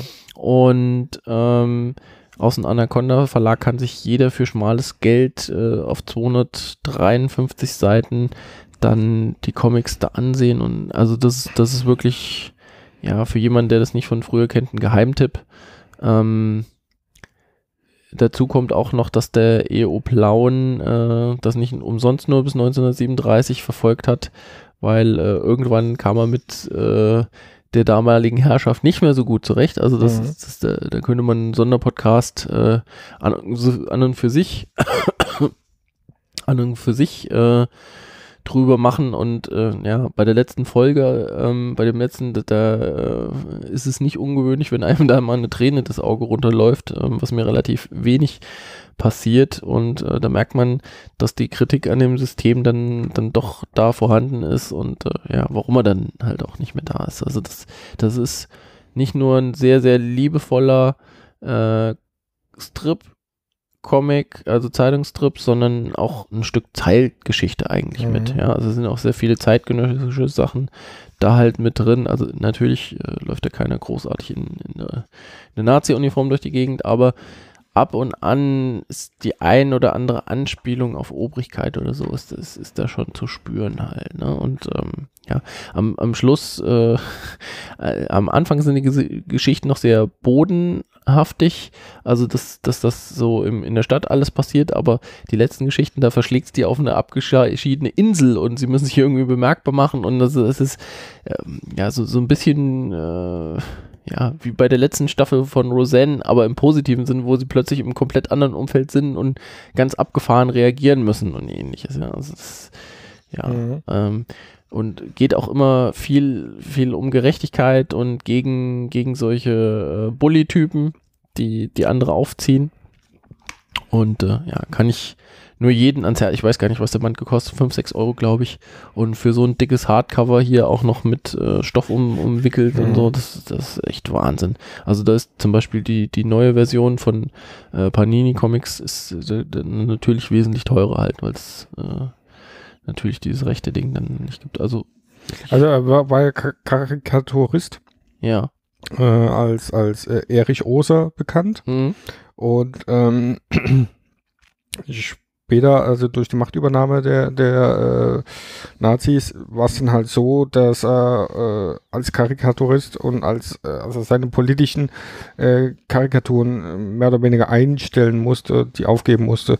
Und ähm, naja, und dann, also politische Zeichnungen wären dann einfach nicht mehr möglich. Mhm. Und ähm, naja, der hat sich dann bei der Berliner Illustrierten äh, beworben und ähm, die wollten halt einen Comic machen Mhm. und also ähnlich der Mickey Mouse und äh, dort durfte er dann eben nur unter Pseudonym veröffentlichen.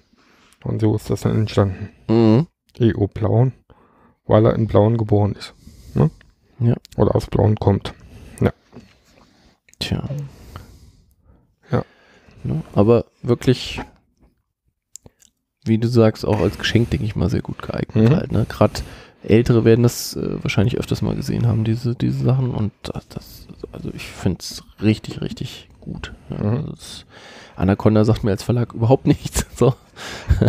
wird, sich- Mir auch nicht. ja, wird sich wahrscheinlich nicht äh, irgendwie auf Comics oder sowas spezialisiert haben, sondern einfach die Gelegenheit genutzt. Das ist ein Kölner Mhm. Verlag, sehe ich gerade. Okay. Mhm.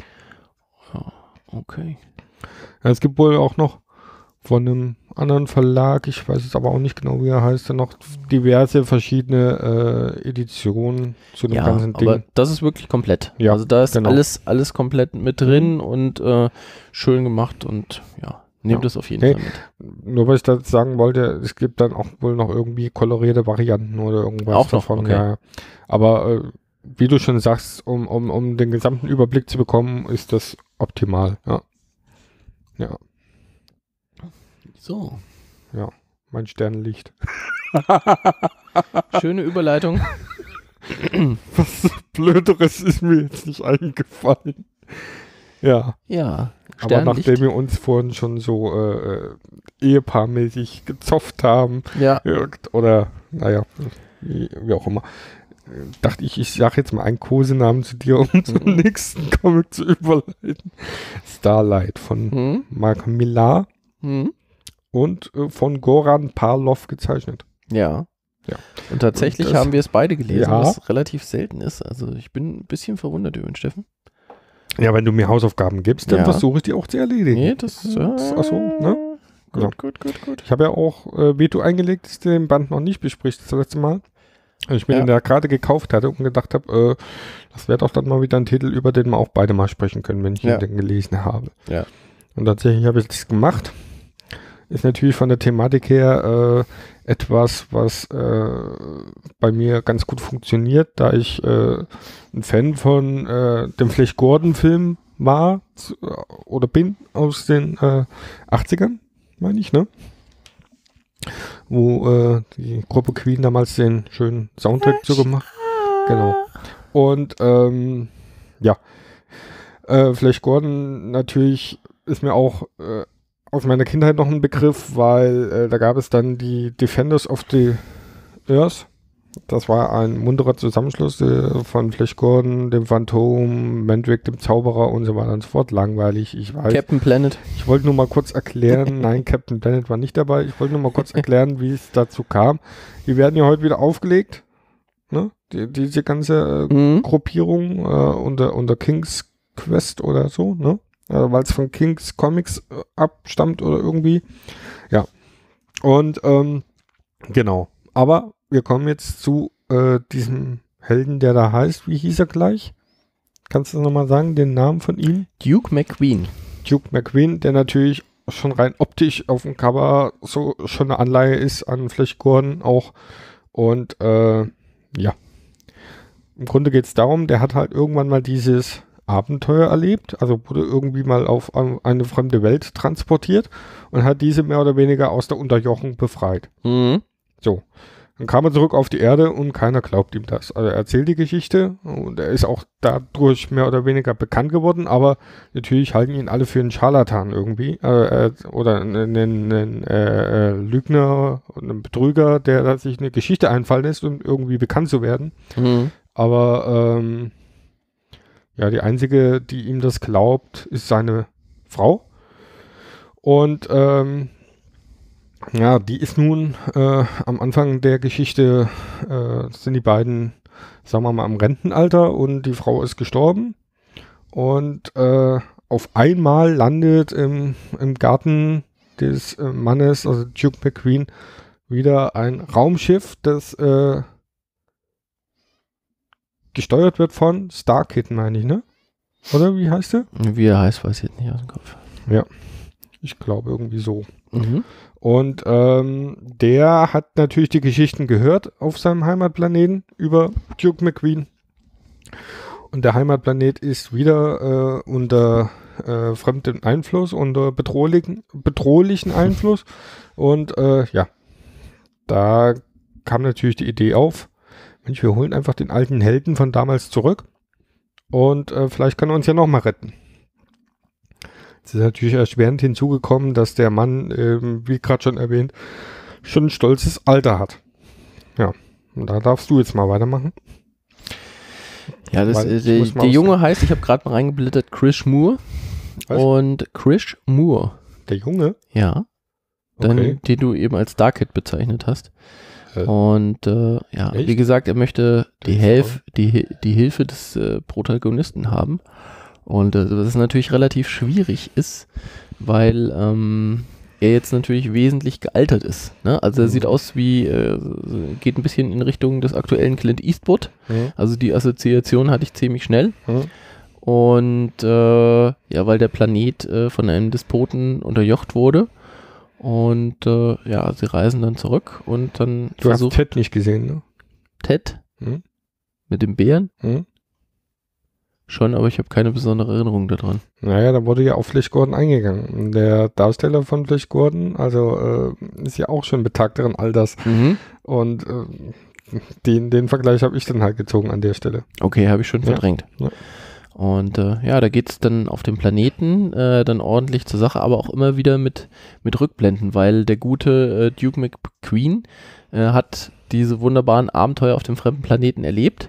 Äh, das hat ihm auf, auf der Erde überhaupt kein Mensch geglaubt. Das sagte ich bereits. Ich hätte dir zuhören sollen. Nicht twittern während der Folge. ja. Äh, speziell seine Kinder haben auch darunter gelitten, weil Stimmt, sie halt ja. dachten, äh, ihr Vater wäre ein Schwätzer, Wahnsinniger, was Mhm. auch immer. Und äh, ja, da gibt es immer wieder Rückblenden, die das dann äh, auch zeigen. Äh, und es geht auf dem Planeten auch sehr kreativ äh, zur Sache. Da gibt es zum Beispiel, er arbeitet dann mit einem Kerl zusammen, der offensichtlich ein bisschen zu viel Erdfernsehen gesehen hat und Ja. so ein bisschen Ja. Rockabilly Elvis-mäßig durch die Gegend läuft und, und auch das passende Auto dazu Ja, hat. Ne? richtig, ja. Ähm, Der sich auch direkt erstmal nach einer, 72er äh, Mustang hat er sich, äh, Mustang hat er sich äh, holen lassen und hört auch die, die Mucke von damals. Und also es ist wirklich. der sich auch direkt erstmal nach einem Couple irgendwie erkundigt hat. Warte mal, wie waren das? Äh, Tom Cruise und Nicole ja, Kidman, genau, oder? weil man kann Erdfernsehen empfangen und deswegen äh, ist, es, ist es ganz wichtig, dass man, äh, dass man Aber es weiß, kommt halt da verspätet an irgendwie, ne? Ja. Das, das war dann der, der, der, weiß noch nicht, dass mit dem Clou, guten ja. Tom und äh, Ja. seiner holden, blonden Gefährtin äh, leider aus ist. Ja. Ja. Und äh, ja. Ja. und äh, ja, ihr könnt euch vorstellen, was dann auf diesem Planeten abgeht. Ist auch eine sehr schöne Hommage an dieses Genre des, des Weltraumhelden. Da gibt es Ja. diverse äh, Figuren, die so ein bisschen äh, in die Richtung gehen. Gerade jetzt aus dem britischen Raum gibt es äh, gibt's ja nicht nur Flash Gordon, gibt es äh, diverse andere, die genau in dieselbe Bresche da reinschlagen und das sind natürlich auch die typischen Klischees des, des bösen Imperators, der das äh, ganze System dann übernimmt und äh, ja, dass das im Alter auch nicht alles äh, einfacher ist, das, das merkt man dann auch. Also ich, ich für mich habe dann gesagt, so ein bisschen Gran Torini im Weltraum, Hm. äh, um wieder mit, mit Eastwood, den ich äh, sehr ehre und Ich habe natürlich spontan einen ganz anderen Vergleich gezogen, aber hat sowas mit Goofy zu tun. Indirekt. Ja. es war äh, die Unglaublichen. Die Ja. Ungl- ja, ja, auch so, ja, stimmt, ja. stimmt. In die Richtung, äh, wenn man das Superhelden-Genre bedienen möchte, geht es natürlich auch. Ja. Ja. Dass man einfach, ähm, wo sind die goldenen Jahre hin, Genau. um es mal wieder zu zitieren, die, die guten Abenteuer, die man erlebt hat. Aber auf eine sehr intelligente und schöne Art und Weise hier einfach Mhm. umgesetzt. Ich bin, wie gesagt, ich kaufe ja ziemlich alles, was, was Miller macht Hm. das einfach äh, sehr oft meinen Geschmack auch trifft. Ähm, da gibt es äh, sehr, sehr wenig, was, was ich von ihm nicht anfasse oder aktuell noch nicht angefasst habe. Ähm, und äh, ja, es hat halt auch den Vorteil, es ist in einem Band abgeschlossen.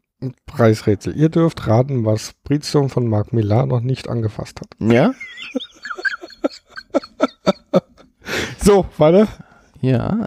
Äh, der, der, der, Zuhörer an sich wird diesen subtilen Humor wirklich schätzen, glaube ich. Ja, ja. Ähm, Ja, erzähl doch mal.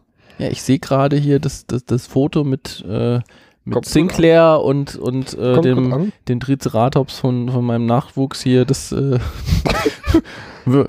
ist, ist sehr beliebt jetzt schon Ja, ja. auf Twitter. Ja, Also Schön. ich muss auch sagen, der Band ist äh, kurzweilig, äh, sehr gute Unterhaltung und äh, ja. Eine Empfehlung ja, meinerseits. ja. Gerade. Gerade wenn es so wie ich so ein bisschen diese Endlosserien so ja, ein bisschen leid ist. also ich, ich, ich, ich finde das auch sehr erfrischend, dass äh, mal so, so was abgeschl Abgeschlossenes äh, zu lesen. Das Ja. macht schon Spaß. ich habe jetzt, äh, wo wir bei Endlosserien sind, ich habe Soll jetzt, ja auch verfilmt werden jetzt, ne? Ich habe jetzt ein bisschen, Also Mark Miller ist ja immer so, ein, Ja, so ein Garant wenn- dafür, dass wenn irgendwas Miller verfilmt wird. draufsteht, dann, dann Ja, kauft dann innerhalb dann- von zwei Minuten der erste die Filmrechte. Genau, also, das, also das Comic ist noch nicht mal draußen, dann sind die Filmrechte eigentlich schon weg. ja, aber ist ja schön, wenn so das Medium. Und da äh, bin auch- ich mal drauf gespannt, wie das wird. umgesetzt wird, weil wir wissen es ja, bei Mark Miller Verfilmungen, da kann es äh, sich sehr nah am, am Original Mhm. halten, siehe Kick ist, Mhm. oder es kann halt äh, in eine völlig andere Richtung gehen, siehe Wanted. Mhm. Deswegen, da bin ich mal ja, gespannt. Das, äh, wie, je nachdem, wie, wie der Regisseur das halt aufnimmt. Geil. Aber pff, da wäre es fast geil, da würde jemand auch so, so ein bisschen diesen, diesen Stil von dem äh, Flash Gordon-Film noch so ein Mm, bisschen. Ne? ja. das, das ist ja sehr dann- trashige Interpretation auch sollte gewesen. dann, es sollte dann auch, äh, also der Film, derjenige, der den Film macht, der sollte das dann auch erkennen und, und das dann praktisch ähnlich palpig umsetzen. Ja. Das also, kann ich mir schon sehr gut vorstellen. Mhm. Ja. Aber ich bin gespannt. Also ich, ich sage jetzt mal vorsichtig, ich freue mich da auf den Film und äh, ja, ob ich mich da wirklich drauf freuen kann, das äh, sehen wir dann. Aber man sieht es ja schon auf dem Cover da, diese, die ganzen Raketen, die da abgebildet sind, das geht natürlich eindeutig in diese Richtung. Und äh, Wobei, wenn man das Cover sieht, könnte man fast meinen, die Serie würde sich mehr ernst nehmen. Stimmt, ja. Also ich Also hatte, das Cover ist sehr gerade auf dem Alien-Planeten hatte ich realistisch und sehr, Ja, ikonisch auch so ein Ikonisch, bisschen. Das, das, das ja. könnte ein Superman-Cover sein, wie er da drauf guckt. ja, Ja, also es das ist jetzt wirklich- nicht so, so, äh, ja, pulpmäßig gemacht, wie, Ja. wie dann eigentlich der Inhalt ist. Innen drin, gerade auf dem Planeten, hatte ich dann äh, im, im guten Sinne eine Assoziation mit äh, Kirkmans Invincible. Hm. Da sind die ja auch äh, des, des Öfteren durch die Alien-Herkunft von Invincible Hm. äh, auf anderen Planeten, wo Mhm. dann auch teilweise sehr abgefahrene Aliens äh, sind. Und äh, in, in die Richtung, in diese lustige Richtung ging es dann auf dem Planeten, obwohl es natürlich auch ernst ist. Ich meine, es sterben äh, Wesen Ja. auch, ja. Aber trotzdem Aber auf es geht trotzdem mit so einer, mit so einer Leichtigkeit äh, auch. Leichtigkeit daran, ja, Ja. das stimmt, ja. die nimmt sich nicht sehr ernst Ja. und Ja, muss ja halt umgebracht werden. Naja, dann, und dann machst du das jetzt. Und dann, Ja. naja, also dann, also Ja. es ist halt schon, äh, ähm, er hat ja. den richtigen Ton einfach für die, Ja. für die Idee getroffen, die er da hatte. Ja. Ja, sonst ist er ja eigentlich eher so bei dieser Bad Boys-Geschichte in Mhm. letzter Zeit öfters mal. Äh, das, das mag er ja unheimlich gern, dass er die, die Bösen auch irgendwie darstellt. Aber ich, man, man, man merkt ihm halt auch an, dass er, dass er Fan von diesem Genre ist, was, was ja auch im, im, im Bekleidungstext drin steht. Also, dass er eher, also er kommt ja eigentlich aus Schottland oder was, ne? Glaube ich. Also zumindest Mhm. aus, aus, aus, Mhm. aus dem äh, Mhm. Vereinigten Königreich. Ja. Und ähm, ja, auch äh, irgendwie da dran stand, äh, also jetzt so mit den mit den Sachen von der Insel selber konnte er jetzt weniger anfangen, also so Ja. Doctor Who und sowas, sondern er hat dann eher schon Zu den Armeesachen zu, gegriffen. zu ja. den amerikanischen Sachen gegriffen und da steht natürlich Flash Gordon relativ weit vorne mit Ja. und äh, ja, und das merkt man dann halt hier. ja, das ist gut, wobei auch äh, Buck Rogers und alles, das, Ja, das klar. geht ja alles in, Naja, gibt ja auch bei Also- DC, äh, gibt es ja äh, diverse Interpretationen, die da stark in die Richtung gehen, dass, dass, dass man einfach, ich meine, allein Hawkman, ja, auch auf einen fremden Planeten gekommen und ja, da oder, mit den, oder hier Adam Strange, ne? ja, das sind Ne? die typischen, selbst, äh, selbst ich sag mal, Star-Lord ist ja Mhm. auch so ein bisschen, geht ja in die Richtung, ne? Und ja, ähm, das, das ist einfach ein Thema, was logischerweise immer wieder auftaucht, der, der Weltraumfahrer, der auf eine fremde Zivilisation trifft und da dann äh, ja, sich für das Gute einsetzt. Und das, das ist ihm wirklich hier sehr gut äh, gelungen. Mhm. Ne? Und äh, ja, ja, kann man Spaß mit haben. ja. Josh Brolin, Tommy Lee Jones fällt mir da gerade als, als gute Kombination wieder ein. Das hat ganz gut funktioniert bei Men in Black 3, ja. Ja. Ja, gut. Äh, ich glaube, damit sind wir soweit durch. Oder hast du noch irgendeine Nö, das, Ergänzung zu das machen? war's. Aber es war ja, war ja schon Ja. eine Menge. Ja. ja. Haben wir wieder mal ein bisschen was an Comics äh, unter die Leute gebracht, an Empfehlungen, denke Mhm. ich.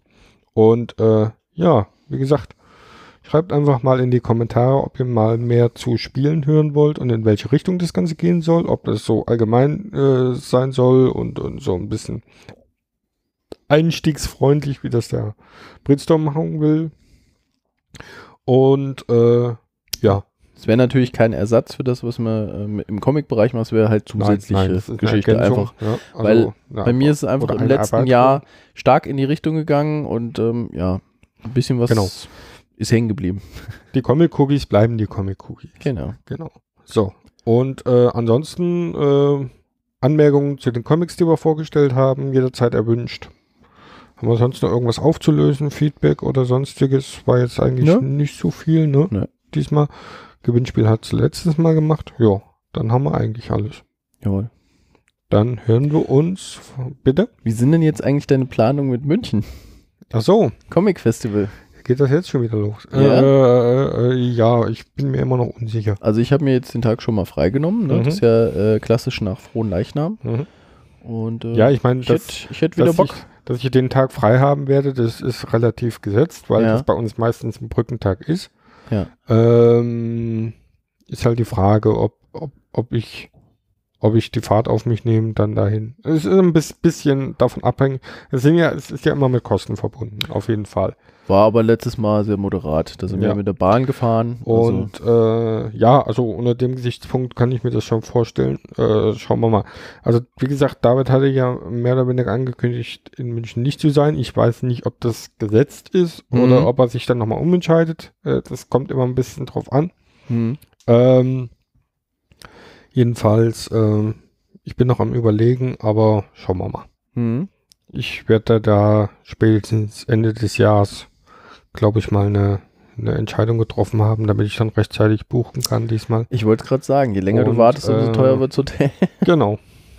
ähm, ansonsten würde ich sagen, gut, Frankfurt ist ja gesetzt, die Comic-Con. Ja, so gesetzt ist die auch nicht, weil, äh, wie ich schon sagte, das immer in unsere Urlaubszeit fällt. Achso, okay. Und da muss ich dann erstmal gucken. Aber ähm, wie gesagt, vielleicht ist es dann auch mal was, wo äh, die bessere Hälfte mitgeht, wo die sagt, das interessiert mich dann auch mal, so ein paar Schauspieler gucken oder so. Ich wollte gerade sagen, mit Seenanteil und, und, äh, ja, das ist schauen doch wir was mal. für sie. Äh, wenn wir sowas vor der Tür haben, sollte man es eigentlich, wäre es eigentlich sträflich, das nicht mitzunehmen. Aber äh, Also schauen wir ich, mal. also ich habe es eigentlich schon fest eingeplant, Ja. eben aus dem Grund. Also ich würde jetzt nicht durch halb Deutschland fahren, weil, weil ich, ich, ich aktuell glaube, dass dieses Con-Ding einfach zu wenig mich dafür, dass ich mich zu wenig äh, für Autogramme und äh, bezahlen für irgendwelche Mhm. Fotos und sowas interessiere ich mich zu wenig. ja, Aber das- wenn das es mal vor der so. Tür ist, werde ich auf jeden Fall, Einfach äh, mal, um es wirklich neutral bewerten zu können, auch einfach mal hingehen. Genau. Und äh, dafür ist es halt wirklich äh, in, in nächster Nähe halt. Ne? Einfach, dass man auch mal dieses, dieses, dieses Feeling hat irgendwie. Ja. Was für eine Art Messe ist das denn überhaupt? So ein bisschen, wir hatten ja jetzt ähm, ein paar Bilder von äh, einem, einer Informantin aus Leipzig vom Comicgarten, äh, die da war. Und Ja. da, da hatte ich schon fast wieder, also da, da wäre ich schon fast motiviert, mal nach Leipzig zu Das, machen. äh, das überlege ich tatsächlich fast jedes Mal, weil das ist irgendwie so, das sieht, sieht nett aus. hm? Ja, das ist also so eine kleine, ich sag mal, Runde und natürlich muss man da Familiär. familiär, man muss mit dem Wetterglück haben natürlich so ein bisschen, so ein Stück weit, ja. Ja. Aber äh, es sieht echt sehr interessant aus und äh, Lass uns das mal planen, Steffen. lass uns das mal planen, sagt er. Ja, das ist natürlich ja. auch immer schwierig. Naja, gut. Äh, Kennst gut. du doch noch von früher? Leipzig war doch mal die Belzmetropole, Ja, ja. na klar. Ja, natürlich kenne ich das noch, aber war ja auch, äh, ist ja Ewigkeiten schon her. Ich war auch schon mal auf der Leipziger Buchmesse. Ah, okay. Aber ähm, das ist dann, glaube ich, mal was ganz anderes und ich glaube, da wird es mich jetzt eher hinziehen, als wie irgendwie zu einer der großen Messen. Ja, also Tatsächlich. Con Aber- bräuchte ich jetzt wirklich bis auf Frankfurt, wo, Ja. ich, wo das drumherum okay ist, äh, bräuchte ich jetzt nicht unbedingt, weil Ah. mir es einfach zu stressig wäre. Aber das stelle ich mir eigentlich eher als Gegenteil von Stress vor, weil es sehr übersichtlich, wer da ist. Ich Ähm, möchte noch einen Tipp geben, wenn wir jetzt gerade Ja. bei den Buchmessen und sowas sind, äh, sind wir jetzt gerade hingeschippert, äh, dass jetzt die Oktober-Episode ist, passt das ganz gut. Und zwar ist ähm, um die Buchmesse herum, weil ja der Comic-Anteil auf der Buchmesse selbst sehr klein geworden ist, Hm? gibt es den Comic-Satellit. Ne? Mhm. Namentlich passend dazu, dass sich das Ganze drumherum bewegt. Hm? Und äh, das wird äh, von Mitgliedern der Comic Solidarity äh, ähm, organisiert Mhm. und äh, findet dies ja das zweite Mal statt. Und äh, man sollte mal auf der Seite Comic Solidarity, die werde ich dann hier an der Stelle verlinken, äh, gibt es eine Facebook-Seite, es gibt aber auch eine Webseite und so weiter und so fort, sollte man sich mal schlau machen, was da so die Programmpunkte sind. Das könnte äh, interessant sein für Comic-Fans. Okay. Also gibt es dann so äh, Lesungen und äh, Signieraktionen und so weiter und so fort.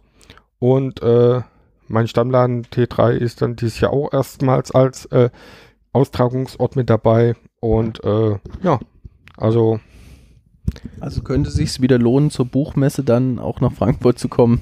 Das hat sich ja, Ja, für den Comic-Fan äh, jetzt einige Zeit lang nicht wirklich gelohnt halt. ne? ja, das wurde Schöne ist halt, schlechter. ihr, ihr müsst nicht direkt auf die Buchmesse selbst, sondern äh, das spielt sich in Locations drumherum ab. ja. Also in ganz Frankfurt verteilt mehr oder weniger und äh, schaut einfach mal, ob da was dabei ist, was euch interessieren kann. ja. Und ähm, ja, das ist meine Empfehlung für die äh, etwas, äh, die, die, sich- die sich so ein bisschen um den Comic-Bereich äh, betrogen fühlen auf der Buchmesse. Und äh, ich meine, es gibt ja noch den einen oder anderen äh, Verlag, der da ist, aber es ist, es ist halt immer weniger und äh, uninteressanter geworden dadurch, dass dann auch immer mehr Signiersachen wegfallen und so weiter und so fort. Und äh, von daher gibt es Programmpunkte um die ganze Messe herum. Und äh, auch im T3 selbst gibt es dann nochmal Signiertermine wiederum Mhm. dieser Woche, äh, die mehr oder weniger eben mit dem Comic-Satelliten oder auch mit der Buchmesse selbst zusammenhängen. David wird wieder signieren und äh, Also wir reden aber noch von diesem Jahr, ne? Das ja, wir reden jetzt von, von, vom Oktober diesen Jahres. Okay. Genau, Ende Oktober ist es soweit und äh, genau, Bin ich gespannt. ja. Und das wäre endlich mal wieder ein Grund, dahin zu fahren, weil, wie gesagt, in den letzten Jahren war es wirklich. bin ich dann auch aus dem. Urlaub zurück. Also da kann man dann vielleicht mal, vielleicht sogar eine Episode dann da machen für November irgendwie in diesem Rahmen. Schauen wir mal. Ja, Ne? hört sich gut an.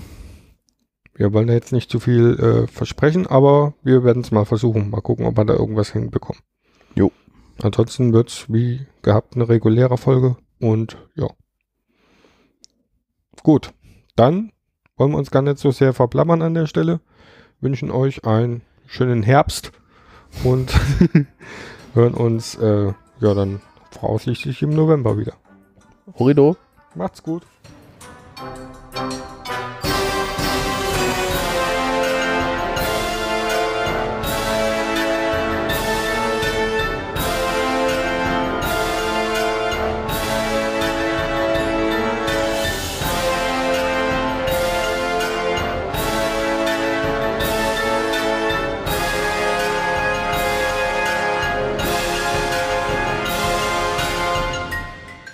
Comic Cookies sind eine Produktion der Comic Community.